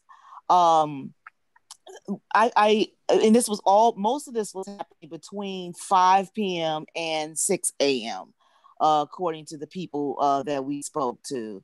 Um, uh, so uh, people are filing 311 complaints. About half did, half didn't. But the reason the other half said they did not is because nothing ever happens. Just like Cynthia mentioned, things are closed out within a few minutes people I know I personally contact the precinct specifically directly because I don't have time to waste on 311. Um, and most people are not even aware. Half of the people weren't aware there's even a parks enforcement unit um, that is that should help with this issue. Um, so I I, I want to say that this, like as I said, this has been going on for quite a long time. I, I have an issue with it's happening in other places. I have to say, I went to graduate school at Columbia University, and and that's near 116th Street, uh, Riverside Park, and I can tell you, it, you can hear a pin drop at uh, 116, and all the way that whole strip over Riverside Drive, you can hear a pin drop. I was not seeing parties. I was not seeing people doing liquor, shooting up, smoking weed. I was not seeing people having barbecues. I was not seeing any of that. And one day, a couple of times, I was sitting in the park and police pulled up and asked me what I was doing there. Because I'm just sitting there relaxing, and I was asked why I was there in the, at night. Wow.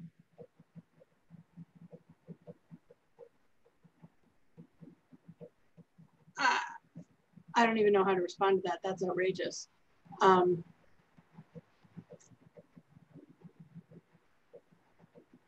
this is going to sound like I'm passing the buck. I'm not. There's, we know there's a huge enforcement issue um, in terms of whether and how the NYPD enforces stuff and how, when, and where they deploy their resources to get a handle on some of these things. And although a lot of it, what you're articulating is happening in parks, it's the NYPD that's doing the enforcement or should be doing the enforcement or isn't doing enforcement. It's not.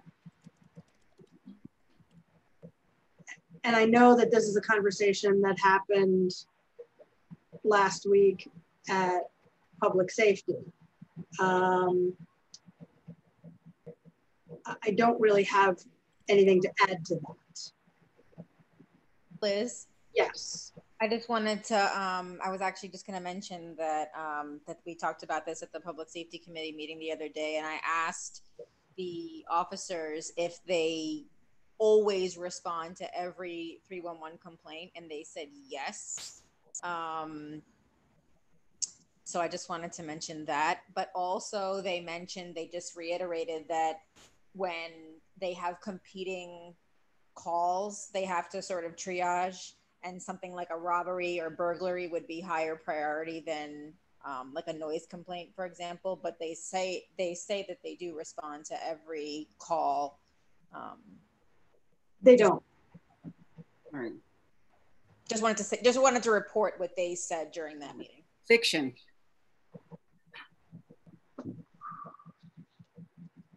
Um, I, I, I, don't I don't doubt that they said that. It is it is true that they said that because I was actually on briefly on that call and I heard them say that. And and I made it a point to ask if they always respond to every one one call and they Yes, you did. yes, you did. Um, so again, um, uh, Tanya is saying she got cut off. Can she? I'm not. Liz, why you're is not. there on on that issue? I was wondering, do when they do respond to three one one complaints, um, when they close it out, do they check out how it's done, how that follow up is done? I can answer to that. Yeah. Uh, and we're uh, myself and a few other people are actually going to be filing an FOIA about that. Yes, the, the, the officer, it is first registered, you do it on 311. It is then sent to the precinct officer at the desk. The desk officer then sends it out to a sector car or an NCO, decides who to send it to. That is recorded in a computer, so it is known who the officer at the desk is and who it is sent to. Then the person or officer that it is sent to then evaluates it, takes an action, and the, the officers currently have these like uh, tablets and special iPhones. And in those iPhones, they then record what action that they took, like unfounded or, you know, complaint resolved or whatever that they did. And so that also then is by a code of the officer's identity, which we will be pursuing in a few cases, especially these ones that are closed out in a minute. Thank you, Mary. Thank you. That's super helpful. Liz? Yes, ma'am. Liz? Yeah, um, so I, I had some questions. I wanted to know uh, I understand that the you know police are supposed to be I just I'm just not clear on on who's supposed to be doing what and these are park rules that are being broken. So parks can't be separate from what police are doing. So police and, and parks need to work in tandem to deal with this issue. Um, and I when I go to police precinct the 33rd, they told me there's a park across street, a party was happening. And I said, Are you kidding me? Like this was three o'clock in the morning. And they said, Well, the parks department is supposed that's their job to, to handle that. That's what they told me. And that they feel like it's the Parks Department's responsibility to address those issues that are happening in the parks. And so I'm confused. It's a lot of passing of the buck. Well, it's them and it's not us, or it's us and it's not, it's you know, it's just I don't really care who it is. I just want this problem addressed because as I said, I want some data that shows that Central Park and Riverside Park are having the same issues that we're having. I want some evidence and I'm going to ask for that data because I'm. Okay. Well, I'd like to speak to that. Can I, I would like to clarify? Okay. I'd like to speak to that first. First of all, we compare this to Central Park, Prospect Park, or Battery Park. That's actually an unfair comparison because they have conservancies where they have privately hired police. So under the city budget, we receive the same amount of officers per capita or per uh, park space that, for example, Central Park does. But they augment that with a tremendous number of private officers that are hired through the Conservancy. We are a poor neighborhood. We do not have that um, other phalanx of officers that Central Park or Battery Park has. So that point made. Uh, the next point I'd like to make, yes, the NYPD is supposed to be in the park. Beware of information you get from the person who answers the phone in the precinct. That often can be a rookie officer who needs more training. Yes, the NYPD is supposed to be in the parks and agrees to be in the parks. PEP officers especially get off earlier in the day, and the NYPD is supposed to be more of the uh, evening presence. They even have bicycles that they have gotten in the last year to ride in the um, parks, uh, scooters. So that is not the case. Jennifer, I think you should take over maybe from there. Sure. Just to make clear that crime is the sort of under the purview of the NYPD. Um, the peace officers that form the Park Enforcement Patrol are public education, um, you know, if you don't have a permit, they can issue you a summons. Um, they can issue a parking ticket. But if there, if it seems like there's a, a, a criminal element to what's happening, then that is uh, for the, you know, trained uh, NYPD or um, uh, agency. It's not our peace officers. So also, uh, uh, PEP officers do not arrest. Only NYPD officers arrest. This is correct. They also are not weaponized. Um, so depending on the size and type of condition that they're being asked to respond to, it may be more appropriate for uh, police officers or a team of police officers to respond to, uh, given you know the safe the safety of the individual um, Okay. Um, I'm not sure. I keep, Tanya keeps cutting out. I'm not sure what keeps happening to her. Um, but I just had a quick question. Yeah. It, it's not related to this at all, but um, it's just about Inspiration Point. Um, I know there was a large piece of debris on the left side of it. I don't know if that's been addressed. Is it is it uh, tree debris? No, it looks it looks like a, a large piece of furniture. It's probably about oh, roadway five or six like feet across. Somebody pulled over on the side of the highway and dumped. Is that what you're? Uh, I mean, it's pretty far from the highway. I mean, it's un, it's in the point. Yeah, it's. Oh, it is. Okay, so we'll take a look. Yeah, it was there yesterday for sure. Okay. Thank you. We definitely have unfortunately had more illegal dumping at all of our uh, park perimeters. It was Yeah, round, so maybe they did just roll it. Who knows? Okay. Yeah, construction, probably construction debris. Um, that's the way where more fly-by-night construction companies routinely dump in the parks in order to avoid uh, um, garbage cartage fees. It's a, a real ongoing problem for the parks. Pelham Park especially gets hit. It's a Oh, and and Hi- Highbridge Park along the Harlem River Drive, uh, Dyckman Rest, um, by the one train, um, Park Terrace Mhm. West.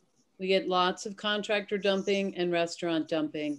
Um, and it impedes our ability, you know, our garbage trucks get filled with that instead of, you know, regular park trash. We're having to take all that to the dump on top of everything else. So it's definitely makes things more challenging than they need to be. So if you see someone looking like they're dumping, call sanitation, call the NYPD enforcement. Yeah. Uh, Liz, I would like to make a comment to sort of sum up this discussion Tanya raised. Uh, yeah. We can we cannot expect the NYPD to, for example, go in with four officers and confront a group of 50 to 75, because that has a certain riot potential to it. But it seems to me, especially over the next four weekends, which has been very effective enforcement in the past, that we know in Inwood Hill Park that in the mornings, what seem to be semi-professionally organized gatherings, probably by DJs, promoters who have a good Twitter list or email list or text list, are organizing large groups of parties. They are bringing in beer on hand trucks. They're bringing in refreshments. They're bringing in professionally sized speakers and setting up outdoor parties. I mean, professional outdoor parties. In the past, we've also seen that on Fort George Hill. We've seen that at the edges of Highbridge Park by the Harlem River. What I would like to request is that the PEP and the NYPD be there at Indian Road and 207th Street along there Saturday morning, Sunday morning, starting at nine o'clock and confiscate the stuff. You're not allowed to have alcohol in the park. When they start to bring it in on the hand truck, it'd be confiscated. You're not allowed to have loudspeakers in the park, you confiscate. That has been traditionally done in the past, has been successful. They're isolated at that point. The party is off. The party is called off. That will be a tremendous service to our neighbors in Inwood so that they can actually use the park in these last weeks of summer. Because what's really happened is that the residents of Inwood have been, by and large, banished from the park. And these revelers and these, uh, this, you know, antisocial subgroup have taken over our parks to the detriment of our own community. So I really request that the PEPs and the police be there in the mornings through the afternoon of Saturday and Sunday and start confiscating. So I will say that um, the police setup across Dyckman Street has been incredibly effective in stopping that party before it starts. So this is a strategy that the precinct knows works. Um, and Mm-hmm. yeah, so uh, I don't, uh, your point is extremely well taken. Um, I will work with Curtis to communicate that to the, um, to the precinct um, and to the NCOs. Um, Jennifer, if you could back me up on that, that would be really helpful. Um, Liz. Yes. I'm sorry, this may not be for us necessarily, but this was in the chat. Some people are asking about the uh, precinct community council meetings, and most they haven't happened really since this started. Right. So the precinct community council hasn't really been meeting since COVID. Um, Barbara is a member of the precinct community council, as is Elaine Grant, who's the person who put that up in the chat. The neighborhood coordination officers have been meeting, but again, I want to make very clear, this is an important issue. This is an issue that I care about and that all of the people who have been commenting in the chat and that we all care about. This is the Parks and Cultural Affairs Committee. And while a lot of those issues are happening in parks, that's a public safety, that's a different committee. So you can tell me that I'm passing the buck. I, I am not. Um, I'm trying to keep focused on what is the purview of this committee. So I think we've made really clear all of the ways in which this is a huge problem. Um, we still have uh, a very large agenda item to get through. So I would respectfully request that unless the question you are about to ask or comment you are about to make is something that has not been asked or said already, to please yield your time. Well, Liz, you asked about the community council. It yes. was in March, it was canceled by one PP. The, I'm the secretary of the 34th Precinct Community Council. We wish to continue it, but one PP canceled all the community councils around the city out of concern about COVID. There was also a hesitancy to allow Zoom meetings due to the fact of privacy issues, et cetera, et cetera. I hope that we will have our September community council meeting at least via Zoom. We will see, and I will be in touch with the precinct this week, which also then will be raising the issues that I just raised. Thank you. I appreciate that. Um, and thank you. Thank you. It's very helpful. Yes, Sally? Okay, I have some questions for Jennifer, which are not related to the noise thing. Um, first, just to reemphasize that we do, Friends of Woodhill Park has equipment that we can loan grabbers and gloves if people want to do cleanups. Um, second, regarding the masks, because um, that's a huge issue also, especially because we have the highest proportion or the fourth highest in the city of essential workers. Um, I participated with the MTA when they sent out the mask force all over the subway system and bus lines and stuff like that to hand out free masks. I wonder if we could consider something like that, maybe done. It doesn't have to be done by the Parks Department, but it could be done in parks with the assistance of Department of Health and Mental Hygiene. So that's point two, sort of like a maybe two days um, and weekends would be best, obviously, because that's where the crowds are there. My third um, thing is just a thank you for getting the signage up um, almost immediately, Columbia in the parks after the first raccoon incident, which was with a friend of mine. And finally, just a question and a request to Jennifer. I'm glad that the parks are open to the outdoor learning initiative.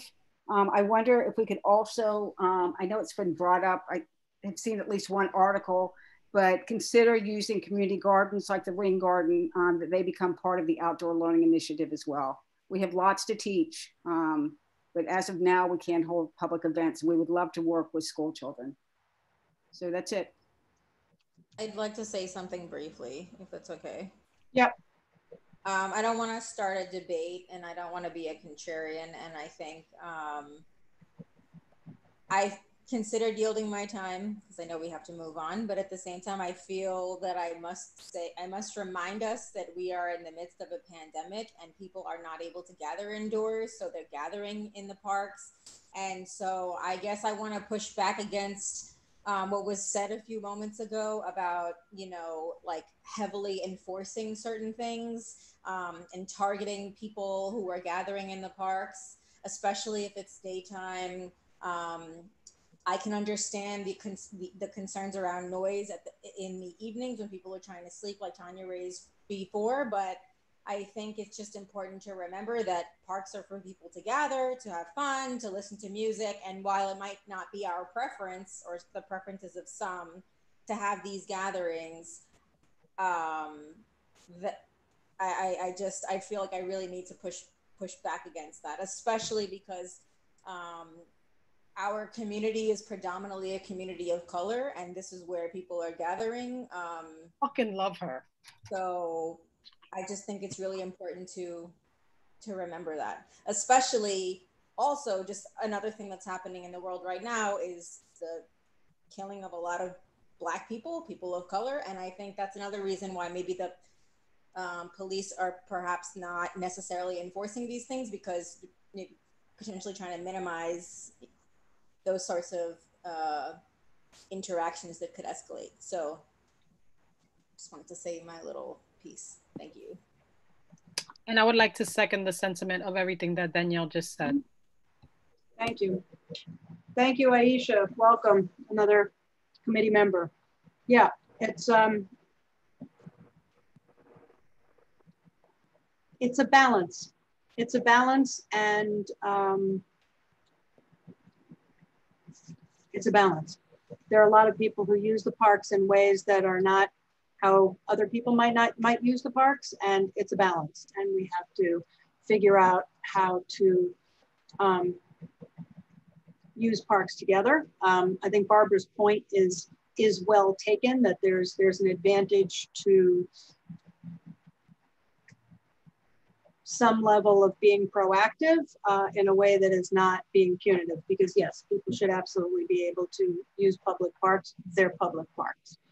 Um, with that, I would very much like to move the agenda to the um, to preliminary discussion of capital and expense budget items. I'm just trying to see if I can screen share this. Um,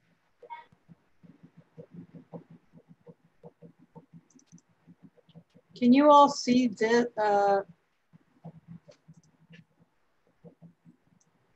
can you all see CB12M Parks and Cultural Affairs FY21 capital budget rankings? Is that visible? Yes. Excellent.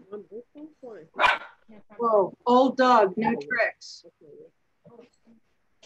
Um, okay, so these are the um, the capital items from last year. Um, I'm gonna mute, somebody's got some background noise. So I'm just gonna mute everybody. Um, Jennifer, I'm gonna need you to tell me a little bit about some of these items. These are in the order that we had that we uh, discussed them that we had them last year, um, not in the, the, that we had ranked them last year. So can you just quickly walk me through which are the items that may have already been done and need to be moved to continuing support? Okay. Um, so the Nature Center is fully funded. Um, but that is a project that right now is in a holding pattern because of the Office of Management and Budget freeze on new expenditures. But it is fully funded, designed, has all the approvals. Um, Raoul Wallenberg uh, is still in need. The basketball court renovation. Um, the the eastern portion of Ann Loftus Playground is not funded. I know that. Tell me which are the ones that should be removed because oh, they're done. Yeah. Okay. The Inwood Hill Nature Center, though, doesn't include displays or anything like that, right? That's just the building. There is funding for interior displays. There's not the funding for the sort of like rain gardens and learning gardens uh, that would sort of retrofit the asphalt apron right. into more like learning space. So that is correct. Yeah. We would need to include that just for the for what's not included. Okay. okay. Um,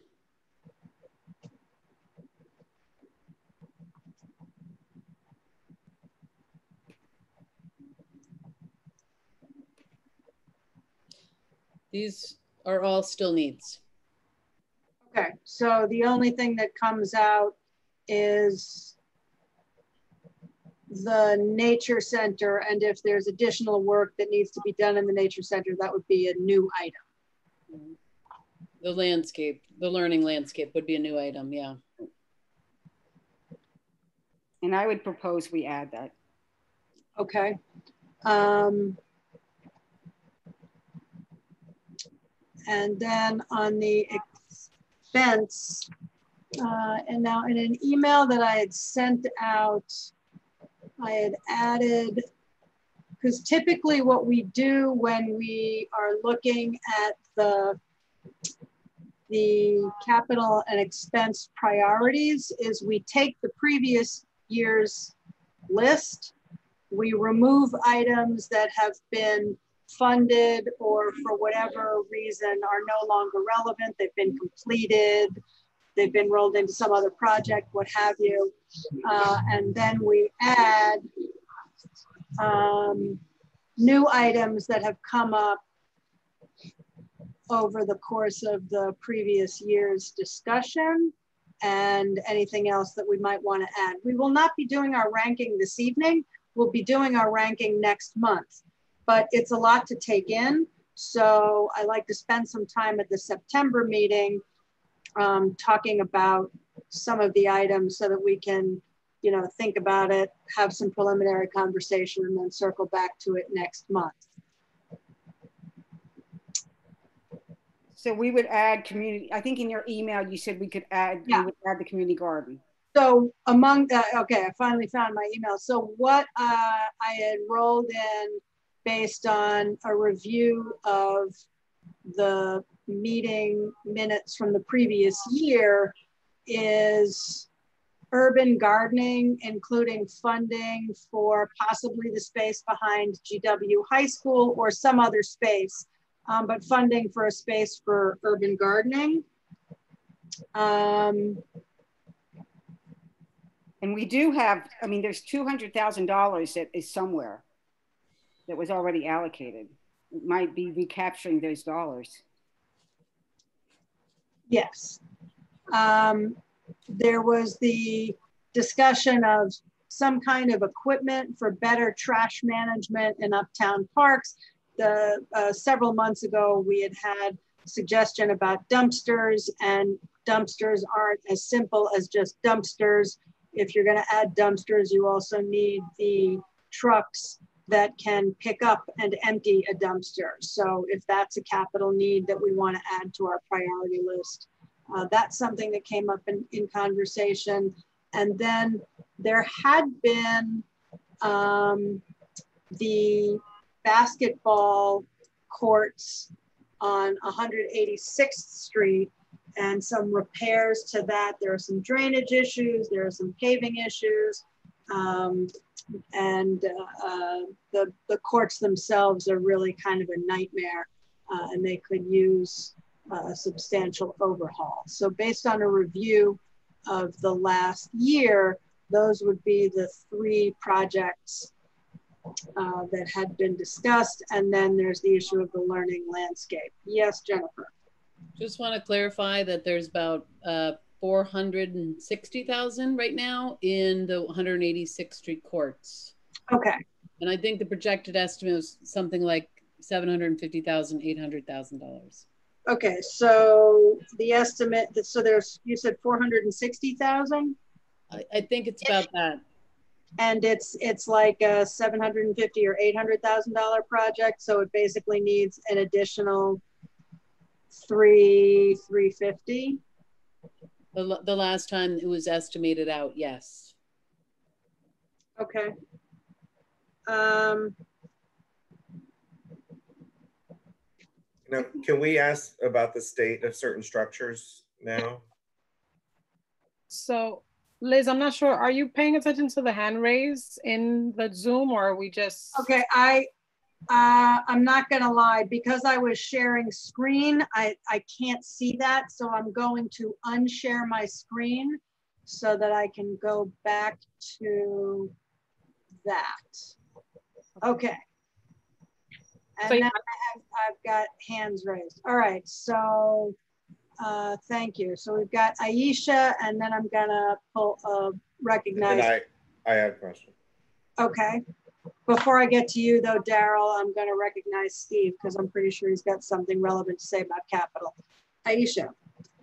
So um, it, from housing and uh, youth and ed, I was in the habit of seeing the register being used to be able to see what the city responded. I'm assuming that because Jennifer is here, maybe we don't need to use the register in order to make those comparisons. Correct. Okay. Um, that being said, can you walk me through the the the the reason why some of our parks, or I guess maybe all of our parks, I don't really know what it is, um, do or don't have cameras in them. Um, the reason why I bring this up is uh, because I had looked into it and I saw an article that stated something about bringing cameras to parks. Um, and the question came up because of the hanging that took place recently in um, Fort Tryon. So I was just wondering what is the actual answer as to whether there is or isn't cameras in some or all of our parks? And if there isn't, what is the justification for that? Um, I just wanted to know background because depending on what the answer is, then maybe that's something that I'd want to suggest. Or do you have an answer? Yeah, please. So um, most of the parks do not have cameras. Um, and part of that is because of the service contracts it requires. You, you need somebody to be monitoring it. Um, when Senator Jackson was a council member, I believe he gave funding for the NYPD to put cameras in problem areas to have tracking. I'm not sure what came of that, but that way, if anything was happening, you know, they could, they'd have somebody monitoring those cameras. They could respond. Um, so it's, it was more of a question of where did it make sense operationally and what was the most sustainable. Okay. Um, so I, I just want to say, based on that, there's AI technology now that has the ability to do surveillance without the use of a human.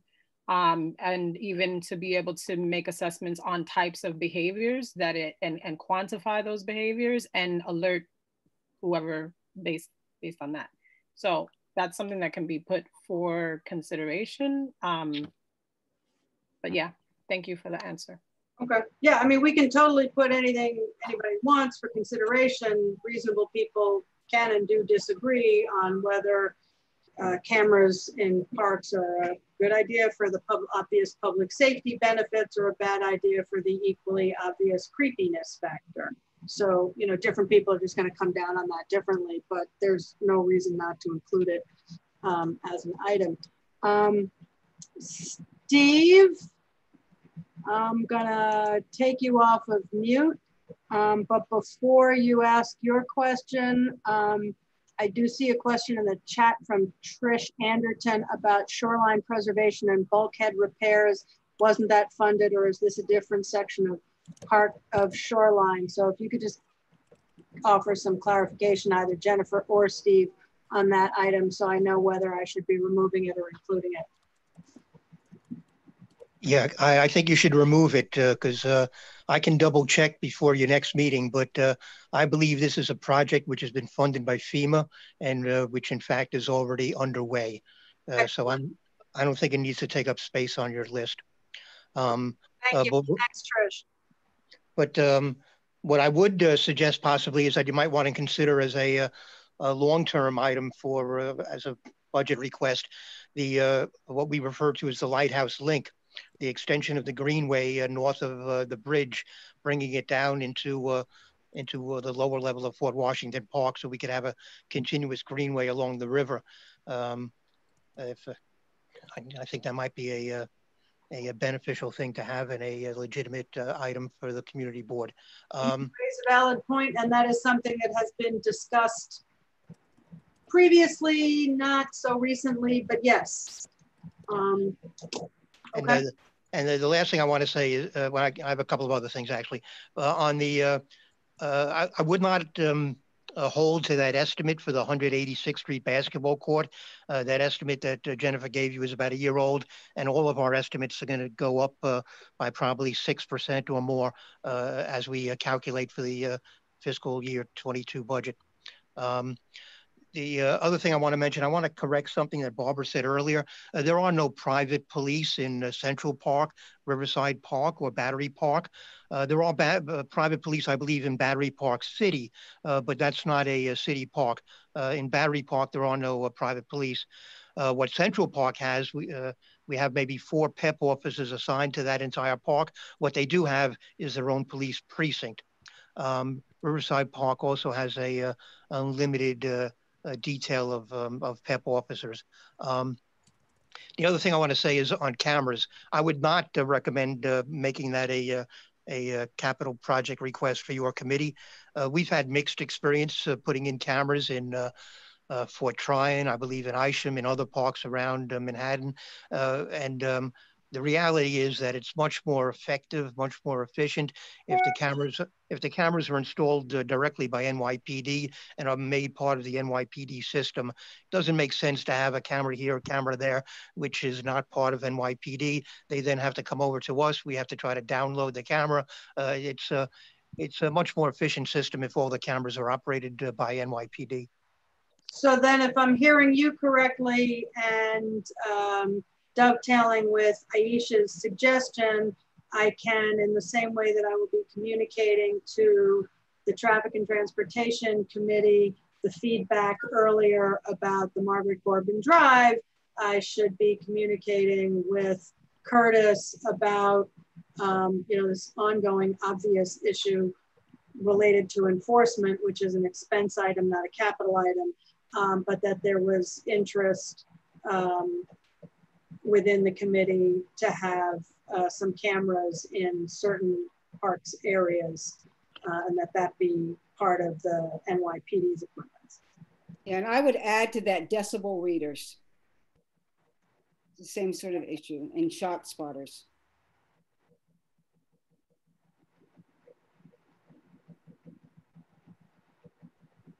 I had an item and I'm not sure, it did come up in meetings. I'm not sure where to put it um, which is um, more sort of sustainability things. It had come up when we talked about the baseball fields, but mm-hmm. having um, no touch, you know, like more modern, like bottle fillers, having no touch um, water fountains, and also um, having um, recycling dollars devoted to education and equipment so that we can recycle. I know that the pilot was a failure, but we can always do better. Um, when we do our cleanups, we actually do separate recyclables, but we have to take them out of the park. And I would like to see this committee advocate for both expense dollars and capital dollars to go into some sustainability initiatives. Okay. Um, just to respond to that, I, I, it's been our practice as a committee when we have um, capital items, capital projects, that we ask for bottle fillers and those kinds of um, updated, upgraded um, fixtures, but retrofitting existing, it's, it's way more efficient to just upgrade them every time there's a playground or, or uh, whatever whole project. So I wouldn't actually, it's not gonna be particularly efficient or particularly likely to, to happen if we just say we want new bottle fillers all throughout the system. As, as would, the problem is when it's been brought up, it hasn't been included. I would request at a minimum that they be in our largest park, which is Inwood Hill Park. But I, I think it's an, I think it's unfortunate that they're not there. And I'm embarrassed as a member of this committee that we haven't pushed more aggressively for recycling. Right. I, I, didn't get I didn't get to recycling yet. I was okay. speaking specifically about bottle fillers. In terms of recycling, I'm totally with you. Um, and I and I think, and Steve can correct me, but I think that that should be a larger expense item through the Health and Environment Committee to address recycling throughout the district, including in our parks. But I think if we have like a recycling item about recycling generally and a secondary recycling item about recycling in parks, we're less likely to get what we want. We're more likely to get what we want if we have a single recycling item coming through Steve's committee. Yes? Yes, because it's it is it's up to the Department of Sanitation. Okay. So if they're, I'm happy with that. Dealing with the public safety or health uh, committee rather, um, it should go there. Okay. Uh, But could, could I, am I, am I still on? Can I say something? Yes, you are still on. Um, I, I think, uh, Sally, the, uh, we did include a bottle filler in the, uh, in the plan for uh, Inwood Hill Park uh, ball field number one. Uh, Yes. or- Yes, we did. And it was It's not a fast one though. It was, What's and you moved it out of the dugout. At one point, it was in the dugout. Uh, I can't tell you right now where it is, but I believe it's part of the plan.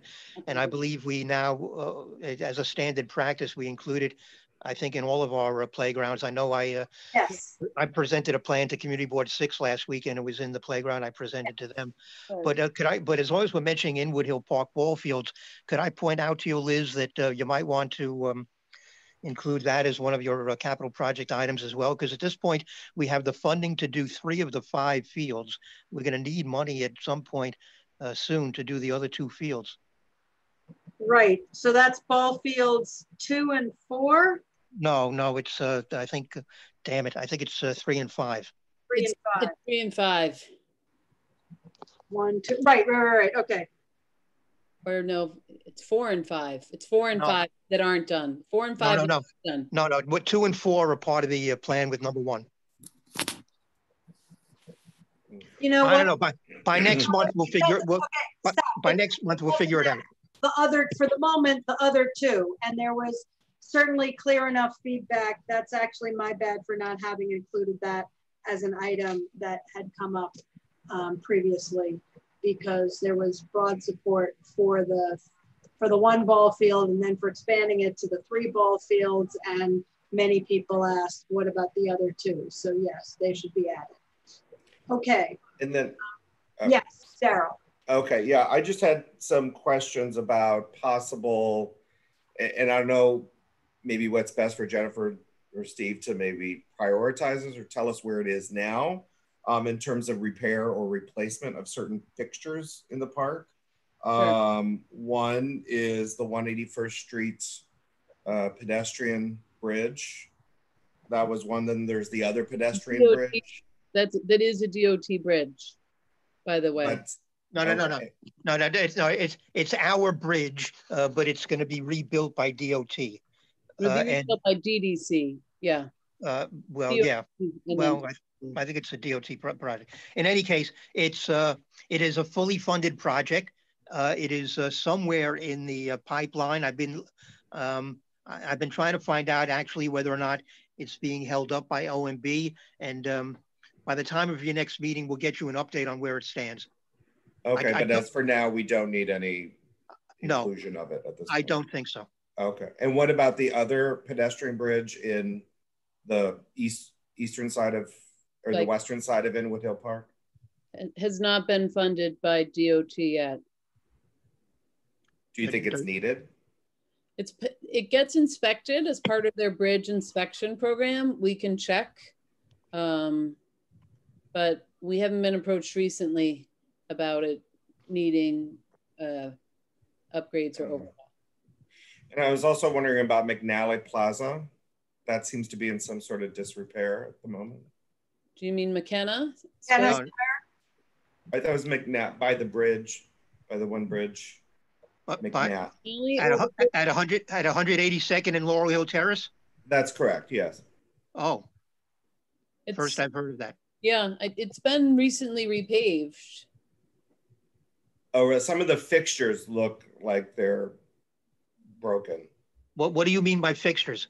Benches, Oh. um, there's a fence there around a, a sign. Okay, we can take a look at that. That, that, you don't have to list that as a capital project. Yeah, probably not a capital, probably just expense.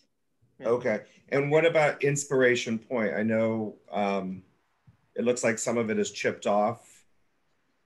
The rebar, yeah. Yeah, The stair, the stairs will, would need to be reconstructed. Uh, and is, is this a capital project or, or no? Yes. Probably, it's, it's pretty deteriorated, the rebar is coming out. any idea what that would so that would be inspiration point Fort Washington Park. Yeah. And then the, the last thing I had was for um, get specific. So inspiration point, what the the the the structure itself, the, the structure itself. Uh, you know, if, if we're going to be if we're going to be taking a capital look at it, we should just make sure that it's structurally sound because it's actually you're standing on what's the second story of it when you're looking out at the overlook. So underneath, um, and then there's lots of spalling of the um, the staircase that uh, it's like three stairs that provide access to the brick patio, um, mm-hmm. and they're pretty far gone. What would you really? call that? It's not a gazebo. It's a it's a portico. Portico. Thank you. Portico. Nice.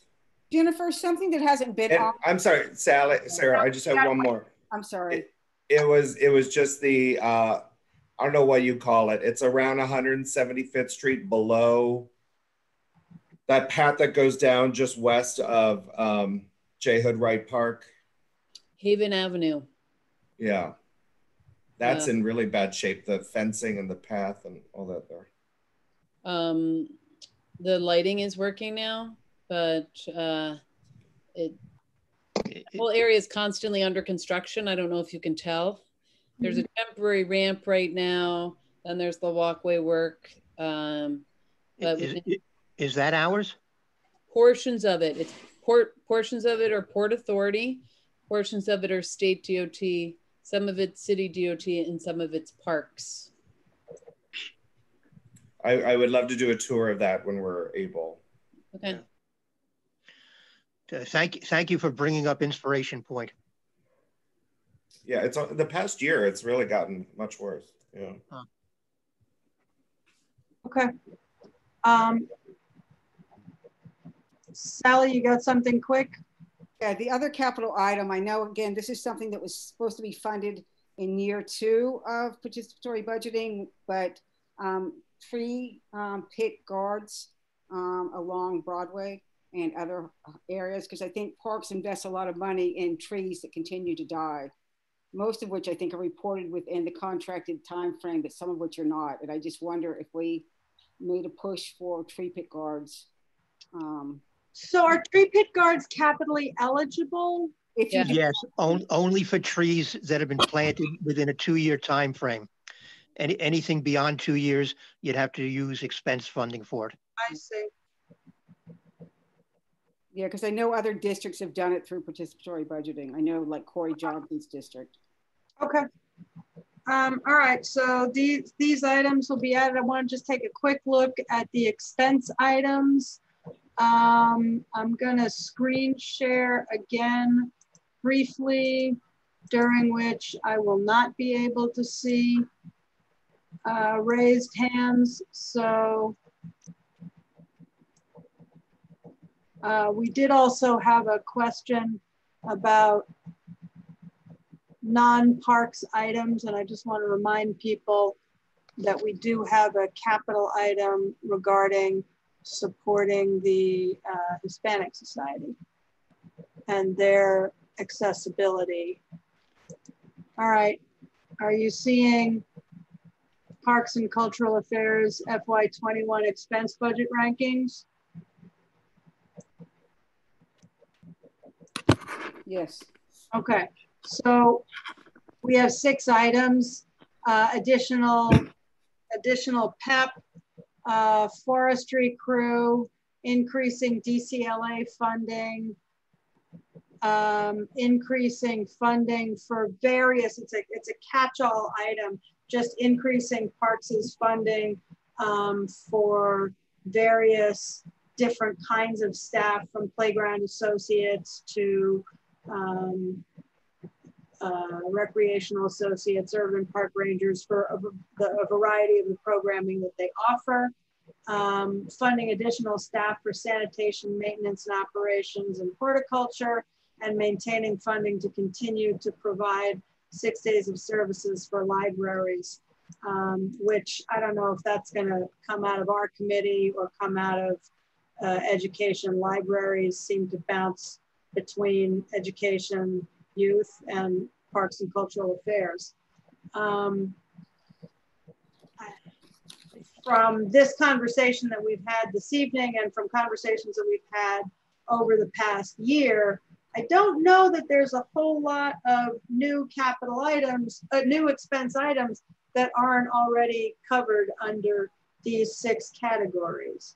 I think these sort of are ongoing needs and are likely to be even ongoinger given the budget cutbacks. And I think that, you know, we're already seeing uh, the incredible um, detriment to people's quality of life when these programs aren't uh, aren't supported. So, I was just curious. Did uh, did Parks Department get a uh, artist in resident from DCLA this year? I'm sorry. Say that again. Did they get an artist in resident? Residents. Not that I'm aware of. Oh. Liz, I have a question about number six. Yeah. Um, do we want to think about including language about hours in addition to the number of days? Obvious. Um, because I feel like children. I mean, um, I'm just thinking about like after school and having a, a space um, for kids to gather. So, uh, you know, we the, the exact wording of the encapsula, encapsulized version of what the item is is less important than how we explain, you know, because because there's the item and then there's a little bit of an explanation of what the item is. Um, you know, sure, we could we could say six days of service at NYPL and after school programming. That certainly makes sense. Or like expanded hours or something like that. Or, or maybe ex expand, I mean, use modern terminology. I think we should have an item that talks about the outdoor learning initiative um, because now it's not only after school, but it's during school. So I would like to see some sort of item that talks about dedicating dollars to the Parks Department for expanding their outdoor learning initiative um, in parks and community gardens. Well, actually, we, we don't spend any money on this initiative. Uh, this is money that would be spent by DOE. Yeah, that's that's a funding item that's going to be coming from DOE. So it's not like I'm not agreeing with you, but that's gonna that's gonna have to be advocacy through the Youth and Education Committee. So if someone wants to write one of those emails to Faye, Sure. Thanks. Well, I tell you what, I, what, what I would ask if uh, is that your uh, item number five be uh, jumped to uh, the top of your list in in light of our budget cuts, mm -hmm. and and if you could uh, remain loose on this point uh, because we may have to come back to you next month if the layoffs go through and give you some other news on where things stand sure. with, with our staffing. Yeah, I mean, clearly the the specifics on this is gonna is gonna change a little bit when we have some more information. Um, yeah, so uh, I mean, at this point, uh, frankly, uh, um, uh, getting back our M and O staff and uh, and the, the rest of our uh, basic uh, staff is more important, for instance, than uh, having a dedicated forestry crew. Uh, I, uh, I, and Correct. then and then having the uh, having some of the programming staff. I mean, we, once, we, we, once again, I we're, we're not we're not ranking these items, so I, I don't actually want to get into a conversation about ranking these items. Uh, I just want to make sure that what the items are is yeah. complete, so that when I send them out to people for their considerations for when we are ranking them next month, right. that we have a complete list. So I will be communicating to Faye about outdoor learning. Um, and what was that? Uh, somebody had some wording there. Yeah, expanded hours. No, no, that's that's related. I would say the outdoor learning initiative in parks, community gardens, and other green spaces. Steve, would the invasive removal, because that's, you know, that's an issue, would that fall under that budget line? I mean, that request line, or is that why we? Under five, it would fall under forestry crew. Okay. We would love, we. Yeah, that's, that's why I think we need it. With our avoidance of spraying and then the tree loss and the holes in the canopy, we have had a proliferation of invasives, and we would absolutely love uh, more foresters to be helping us in Inwoods Forest and High Bridges Forest, Fort Tryon Park. Yep. Um, but you know, it the Mhm. general public priority, as Steve notes, you know, is is the trash and the park maintenance I'm rather than stop you know, sharing so that I can see if there, we've got raised hands. I have one more thing, Liz. Yeah.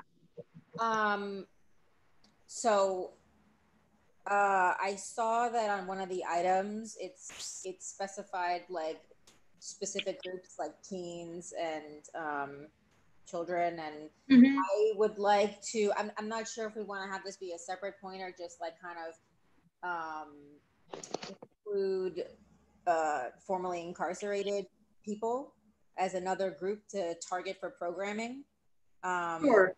Because I'd really like to see us the the rate of incarceration is pretty high in our area, and we have a lot of people returning from jail. And I, um, I know that the the Fortune Society is around like 145th, but we don't really have, to my knowledge, very many opportunities for programming up Right. down. So I really that more of that. I, I would agree with that. And um, that is intended to be an extremely general item uh, so as not to micromanage how exactly Parks um, does the best they can with whatever funds that they have. But I agree that that's an important um, uh, targeted group to add. So rather than having a new item, I would add that language to that item. I'm cool with that. Thank you. And thank you. Okay, um, so I think that's all of the added items. Um, I see I've got Jennifer Bristol. Somebody's got a lot of background noise. I'm muting everybody. Uh, Jennifer. Hey there. Um, I just thought I wouldn't be doing my job um, if I didn't mention the dogs in our community and the dog runs or the dog run in Fort Tryon. And I know, you know, for the last few months, I've been thinking about, of course, we're never going to get funding because of, you know, the budget cuts and the pandemic. But you know what? I realized that during the pandemic and our close down, how many people were begging for the dog runs to open for various reasons. Besides the dogs, it's a sense of community. People socialize there, they're safe there, their dogs are safe there. There are a lot of problems with dogs being off leash. So I know it's a lot of friggin' money, but I also think it's my responsibility since I've been on the call to at least bring that out to everyone's attention because we haven't done that for a few years. So that was it. Thank you for everyone's hard work. Thank you, and thank you for your uh, for your uh, comment. Appreciate that. Um, hold on a second. Let me. Uh,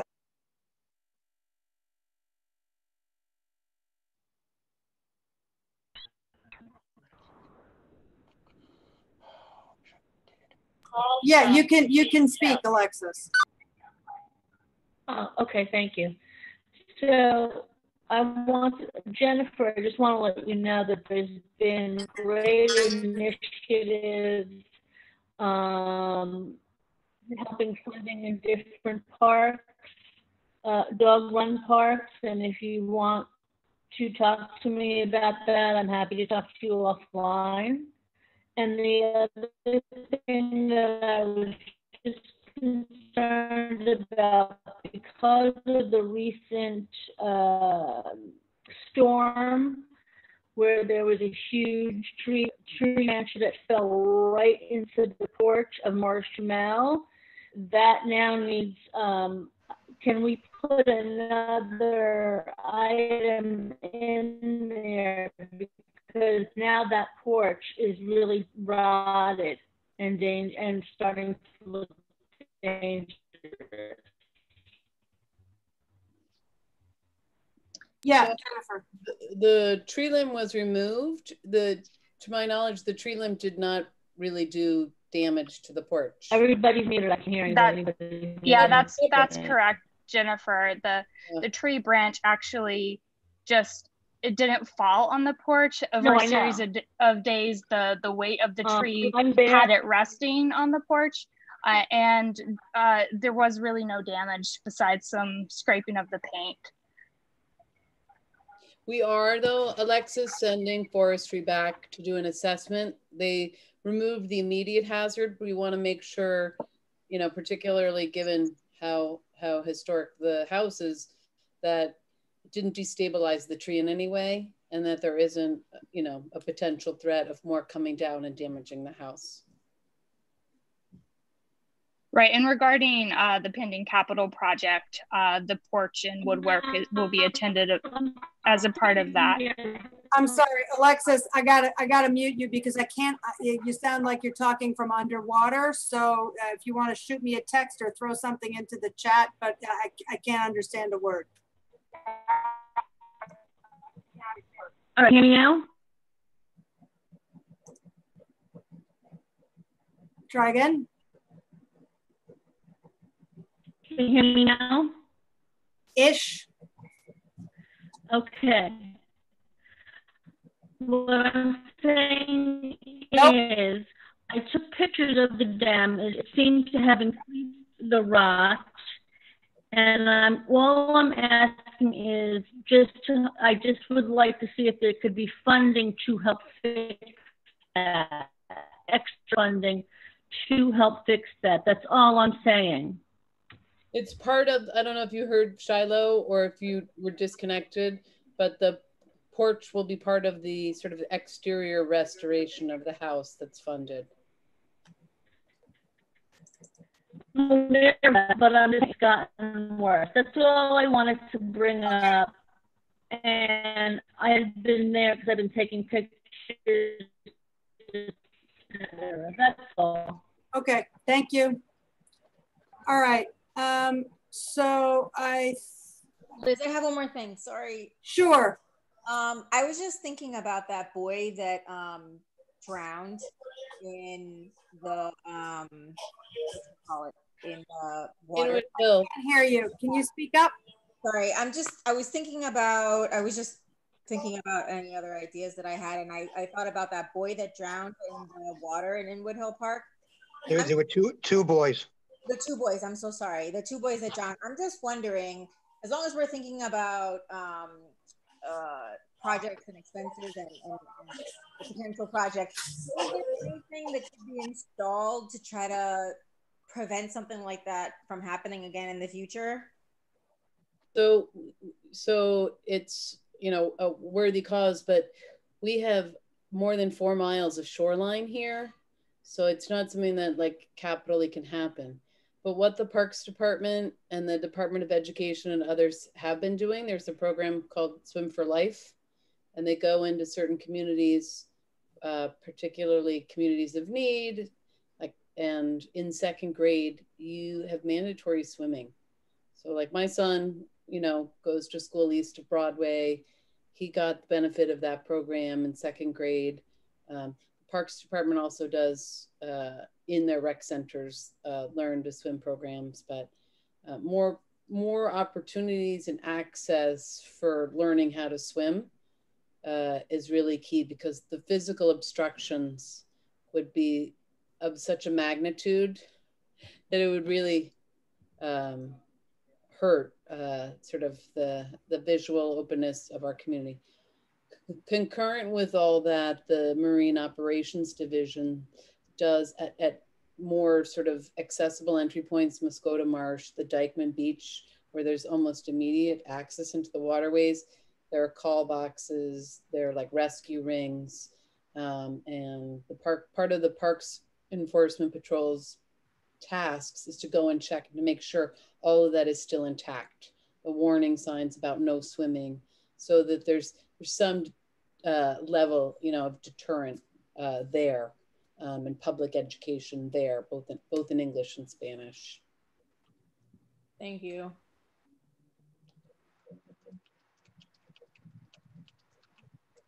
Okay. Um, so there there remain, you know, still some fairly large on it. I think I think we're solid on the on the capital and expense. I'll send out a revised list and remove the rankings, obviously. Um, so that we have them for our consideration and discussion next month. Um, there continues to be sort of the lingering uh, question and concern about the enforcement issue in parks, balancing legitimate use and the very compelling argument that Danielle made that Aisha echoed, and that's been something we've talked about a lot in this committee before, as well as you know people's legitimate need to have some peace and quiet and what is the Parks Department's role in that and what is the PD's role in that. Um, so, uh, you know, again, Jennifer and Steve, if you can bring back to PEP, I know that you have, that they have limited resources. There aren't very many of them and there's a lot of ground to cover. Um, but, you know, we're, we're really struggling up here and um, it's it's it's frustrating to keep on having the same conversation and then you know it's sort of goes away when the weather gets cooler and then it's a problem again the following spring. So it's a little bit exhausting literally for those of us who aren't sleeping. Um, and i don't really know how to solve it. We agree that it's important. We'll take it back. Um, might be helpful to have Inspector Harris from PEP come back next to your meeting next month, uh, report on you know what they are doing, what they have been dealing with. Is it possible for her to get? I mean, I don't want to make work just to make work, but is it possible for her to provide, you know, monthly some kind of just snapshot of what the staffing looks like and what the deployment looks like so that we can just say, look, here are the resources that we have and here's how they've been used in this area. We can request that, yes. That would be helpful. And that way, and if she provides it, if she's able to provide it, then, you know, she maybe doesn't have to sit in a two and a half hour meeting. Um, yeah, well, that would be good. But uh, re realize in terms of deployment that uh, they're moving around all day long and traveling from one park to another. They're not, for the most part, you know, fixed post in any particular location. Correct. Except, except for special operations, like at right. Dyckman Fields this weekend or an overnight or. Yeah. But in the same way that it was useful for, I don't remember who, I think it might have been Cynthia, but whoever it was um, to whom it came as news that um, the problems that we're seeing in the parks up here are problems that people throughout the city, throughout the five boroughs are seeing in their parks. She did not realize that, you know, like many people, what she knows is what she knows. So if all you see is the hot mess that is your local park in Inwood or Washington Heights and you don't know that this is a condition happening elsewhere, um, yeah. So I think it's it would be helpful to, to have monthly data from uh, from PEP saying these are what our resources were, these are where they're they're being deployed, these are how many summonses we issued, you know, whatever their data points are I'm sure people will also have questions and it would be helpful if she could maybe be here for part of the meetings. Um, but it would, there's probably some information that she can give us pretty economically that would be enlightening to us and not a terrible add to her workflow and not a huge commitment of her time. Noted. Fantastic. Okay, my goal was to be done by 8.30 because my goal really was to be done by 9 and we only missed that mark by 10 minutes. So uh, I can't read lips, but it sure looked like Sally said motion to adjourn. Is there a second? I second. Fantastic. Thank you very much. I appreciate you all. Um, I'm going to leave the meeting open for a couple of minutes so that I can continue pulling comments out of the chat to forward to my colleagues in other committees, but uh, consider this meeting adjourned and I am turning off the recording.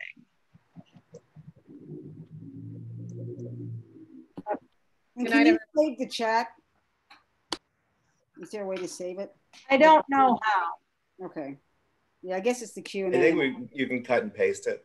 Someone, That's what I'm working on. Yeah. know. Cool.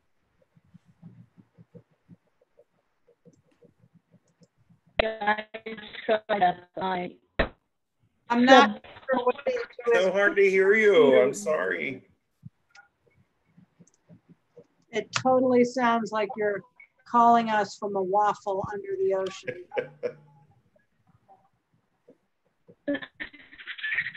So you want to wrap it up the meeting? Uh, yeah, just hold on, just. You just stopped recording. Underwater would be nice. Oh, wait, stop. Ebenezer, I, I stopped recording because the meeting is finished, um, but I still have the, uh, I haven't ended the meeting. I've adjourned the meeting, but I haven't ended the Zoom because I was just cutting and pasting the chat. So I need another couple of minutes to do that because I don't know how else to save it. And um, Did we say welcome to the new member? Sorry. oh my God, uh, you know, I, I did say Welcome. welcome. I did welcome, yay! to uh, Barbara. I didn't welcome Etta because she wasn't on the call at that point, but welcome Etta. So glad that you were assigned to this committee. Uh, thank you. I'm really excited to be part of this committee. I look forward to working together. And happy birthday to your husband. Thank you. All righty, and I think I've got.